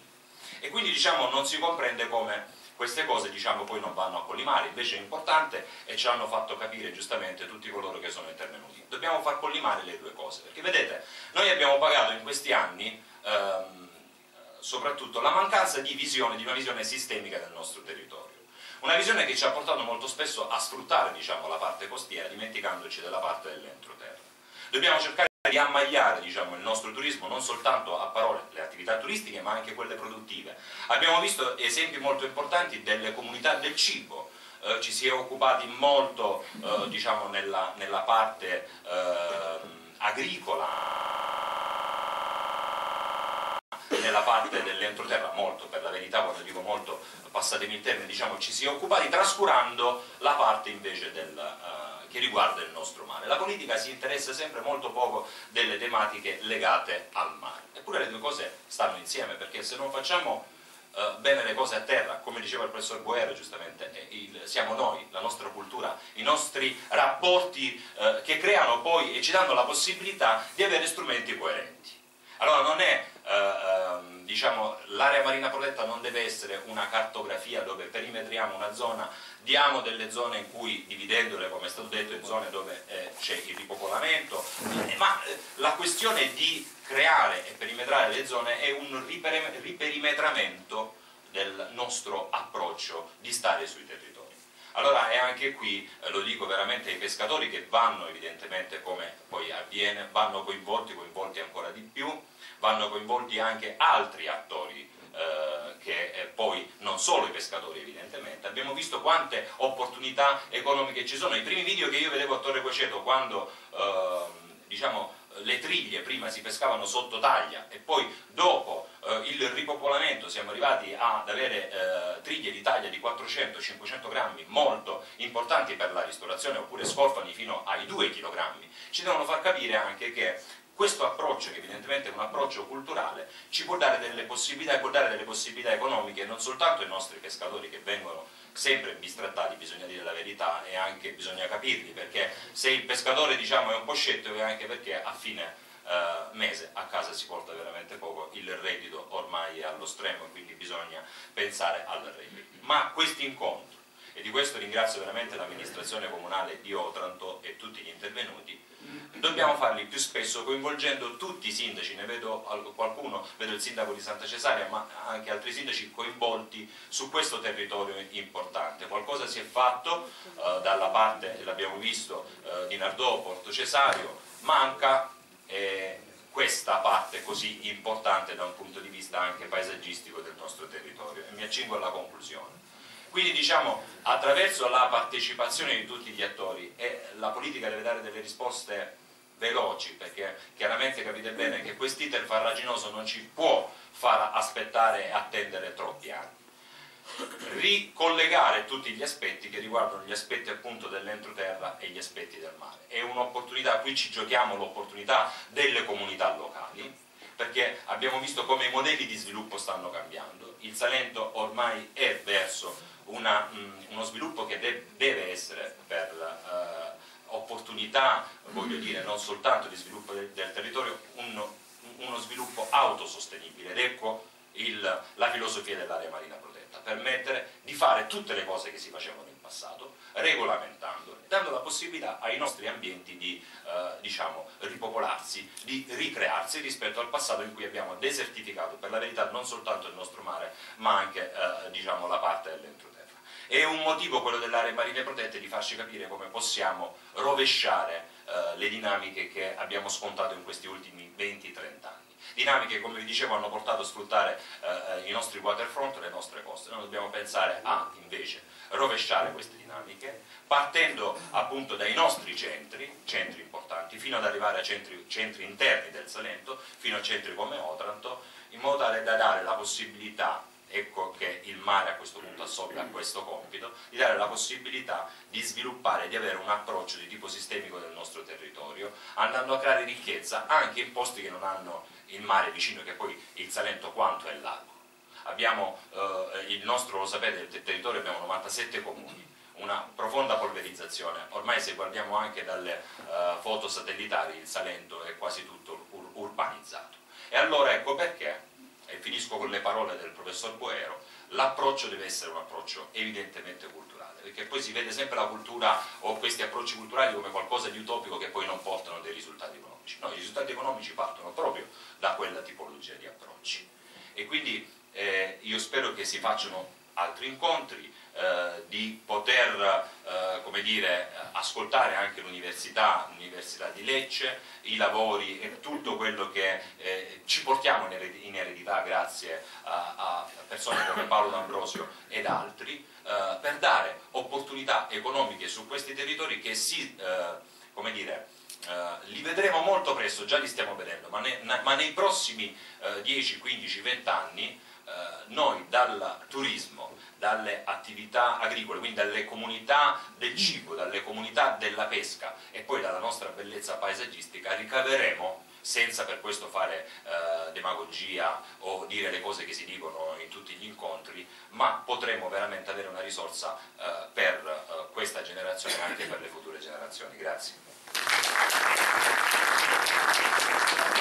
Grazie dottor Casini e a questo punto io passerei la parola ai colleghi sindaci che e amministratori vogliono dare il loro contributo a questa giornata. Pasquale. Buongiorno a tutti, ringrazio il sindaco di Otranto per aver organizzato questo incontro e anche i professori che oggi hanno relazione in maniera eccellente.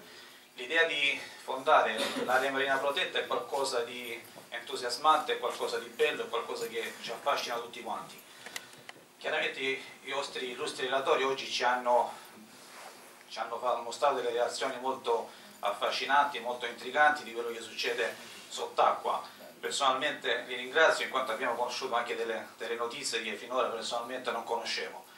Però chiaramente oltre a questo bisogna anche ben comprendere quello che poi succederà in superficie, in quanto come ha detto prima il direttore del dottor D'Ambrosio, dobbiamo anche regolamentare quello che avviene in superficie e quello che avviene in quest'area marina, in quanto penso di interpretare una, un sentimento comune a tutti i sindaci e tutti gli amministratori, tutti siamo presi da un po' di paura, paura non per, verso l'area marina protetta, ma paura di quello che poi potrà succedere in superficie, perché noi l'esperienza di un'area protetta l'abbiamo vissuta anche nell'entroterra, del cosiddetto parco, in cui doveva essere anche quella un'opportunità di sviluppo, ma non so se sia stato veramente così, proprio per, come diceva il senatore Bruni, forse anche per mancanza della politica, per mancanza di di raccordo oppure mancanza di tavolo di concertazione. Anche qui è importante mettere appunto delle regole che siano condivise da parte di tutti e penso che questo regolamento eh, non debba essere fatto dopo oppure contemporaneamente al, al decreto di istituzione del parco, forse è meglio studiarlo prima molto dettagliatamente e per capire a che cosa si va incontro e quindi auguriamoci che sì, anche tutti noi sindaci sicuramente da questo momento in poi faremo delle riunioni nei nostri comuni eh, dove invitiamo anche i relatori già anticipatamente eh, sicuramente vi inviteremo per portare ai nostri cittadini e alle nostre associazioni presenti sui territori queste notizie che, eh, di cui ci avete eh, informato oggi. Lo faremo nei mesi prossimi, noi siamo disponibili, come diceva prima il senatore, anche ad accelerare questo processo, però benché le regole siano ben chiare, eh, chiaramente si sappia anticipatamente quello che poi verrà. Perché se deve essere veramente un'opportunità di sviluppo che lo sia e che non sia invece un motivo di non, non dico di non sviluppo, ma un freno. E vi saluto e vi ringrazio. Grazie Pasquale, io inviterei Alfonso e se poi ci sono altri amministratori ancora presenti si prenotino. E... Buongiorno a tutti, sono il sindaco di Castro, grazie al sindaco di Otranto per averci invitato e aver organizzato l'evento, grazie a tutti gli intervenuti, professori. L'area marina protetta, noi ne abbiamo già parlato sul, nel nostro territorio, io ho tenuto due o tre incontri con la comunità. A premessa dico subito e condivido quello che dice il professor Boero quando dice e sottolinea che l'area marina protetta va istituita con il benestare delle comunità locali, non c'è dubbio. Noi dobbiamo condividere con la comunità l'istituzione, è un atto di responsabilità che non può essere delegato soltanto a chi amministra, ma deve essere un atto chiaramente condiviso. Siamo consapevoli anche perché siamo i primi veri custodi, gelosi custodi delle ricchezze che la nostra costa, il nostro mare eh, custodisce, eh, di cui è, è ricca. Peraltro Castro ha un insediamento importante in Grotta Romanelli, che sicuramente deve essere etichettata come una zona intoccabile perché Grotta Romanelli è noto, insediamento del Paleolitico, eccetera. Abbiamo Grotta Cinsilus, abbiamo tante altre cose. Però eh, io una, mi sento di, di, mutuare un pochino quello che dice il sindaco di Santa Cesaria. Accelerare sì, senatore, però con la dovuta attenzione. L'esperienza che abbiamo avuto del parco Otranto Santa Maria di Leo, che è Bosco di Tricase, forse ci induce oggi a riflettere un pochino, e cioè dettiamo le regole in maniera chiara ed inequivocabile. Siamo disposti anche come comunità, i primi approcci, ripeto, sono favorevoli all'istituzione dell'area marina protetta, anche le eh, categorie interessate, pescatori o comunque chi gestisce servizi turistici che hanno afferenti al mare sono favorevoli all'istituzione. Però vi è un certo timore, cioè deve essere chiaro quali sono poi le regole. Castro si estende per 6 km di costa, tra Grotta Romanelli e Grotta Sinsulusa diciamo che siamo in zone, Grotta Romanelli sicuramente una Grotta Sinsulusa forse un po' meno, poi ho la baia dentro cui si sviluppano tutte le attività del mare e da Punta Currenti a Villa Elena un altro chilometro e mezzo dove vi è la balneazione. Quindi è chiaro che devo fare molta attenzione a come gestire tutto, tutti gli aspetti nella piena consapevolezza che l'area marina protetta rappresenta per il nostro territorio sicuramente valore aggiunto sia in termini di promozione del territorio ma eh, peraltro una integrazione anche con gli aspetti di cui si parlava legati poi alla fruibilità a terra quindi la cultura, la nostra cultura io parlo di Castro che adesso è sulle pagine giornali anche per le scoperte in campo archeologico che ci hanno caratterizzato in questi periodi la statua della De Minerva e quant'altro sono sicuramente una serie di tasselli che vanno uniti per garantire un quadro nel panorama turistico anche culturale di tutto il Salento. Quindi nella buona eh, dire, volontà di istituire l'area marina protetta abbiamo la necessità di capire esattamente di cosa parliamo, anche in termini proprio di, di distanze, di, di, di, allocazione delle varie aree e di come, come gestire. Grazie molte. Grazie Alfonso, io non so se in aula è ancora presente qualche amministratore comunale che voglia intervenire, altrimenti inviterei chiunque di voi voglia dare un proprio contributo a avvicinarsi al microfono. Prego. Se posso, eh, il freno allo sviluppo, dipende cosa si intende per sviluppo. Eh, anche Porto Cesario era contraria perché dicevano che frenava lo sviluppo. Per loro sviluppo allora dopo aver costruito 14.000 case abusive, significava continuare a costruire case abusive. Eh, e quindi dicevano dobbiamo incrementare l'edilizia. L'edilizia?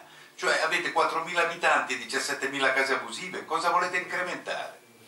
Eh, bisognerebbe cominciare a buttarle giù eh, e rimettere a posto il territorio perché l'avete devastato. Quindi che cosa vuol dire sviluppo. Eh, questo deve essere ben chiaro, cioè ci, le regole ci sono, e, le cose che hanno fatto anche a Porto Cesareo, anche senza l'area marina protetta, non avrebbero dovuto farle seguendo le regole normali. Spesso nelle aree, nelle aree protette, perché ci sono queste cose, si fa rispettare la legge che è uguale anche fuori, solo che fuori non ci si riesce a farla rispettare. Quindi non vediamole come vincoli, vediamole come qualcosa che ci aiuti a non devastare il capitale naturale, perché purtroppo se guardiamo cosa è stato fatto in Salento, è stato devastato il capitale naturale e quindi non si può pensare di continuare a cementificare tutto. Questo non è lo sviluppo, non è lo sviluppo.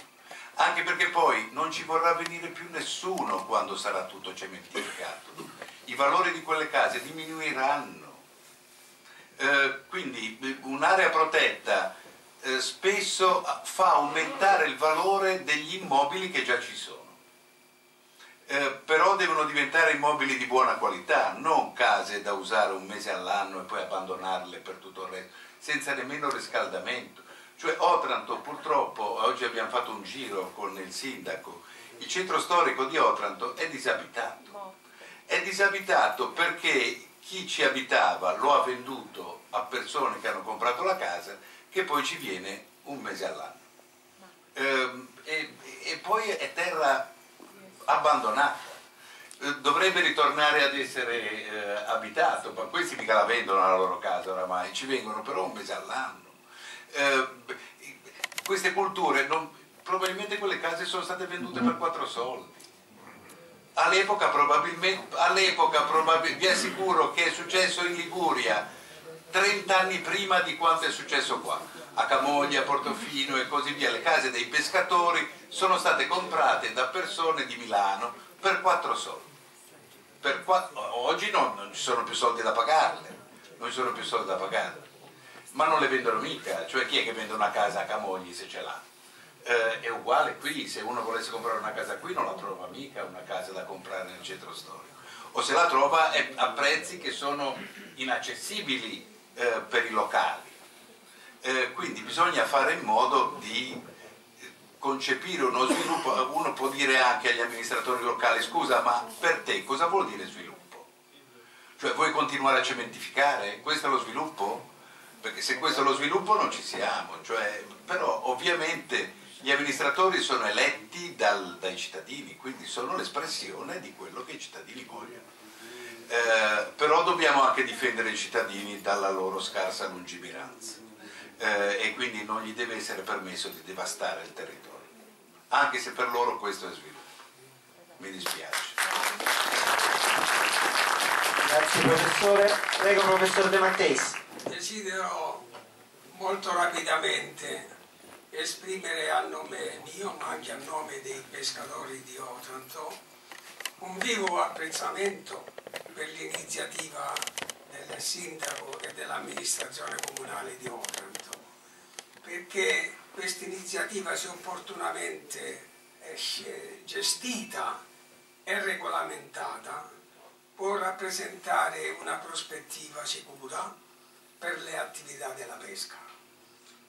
A nessuno sfugge la considerazione che il settore della pesca è attraversato da una crisi spaventosa che ha messo in discussione anche la sopravvivenza di questa attività. Una crisi che viene da lontano. Noi abbiamo lanciato degli appelli drammatici, pressanti presso il Ministero delle Politiche Agricole richiedendo un intervento energico per cercare di far rivivere la fascia costiera, perché di questo noi ci interessiamo maggiormente, da un fenomeno di desertificazione. Ma nessuna risposta è mai venuta perché giustamente io concordo con quanto è stato detto, che è mancata proprio l'attenzione politica nei confronti di questo settore un settore che subisce dalla comunità europea provvedimenti, diciamo, provvedimenti capestri, inumani, eh, esagerati. Basti pensare alla norma che è stata recentemente introdotta, che con la pesca del pesce spada, se uno per la sua disavventura col palangaro fisso, non con quello derivante, riesce a prendere un solo pesce spada, è considerata pesca vietata, per cui le sanzioni vanno da 2.000 a 150.000 euro. Sono cose da capogiro, cose spaventose, cose che spaventano i pescatori professionali. Non per questo loro devono essere i bracconieri quelli che devono... Eh,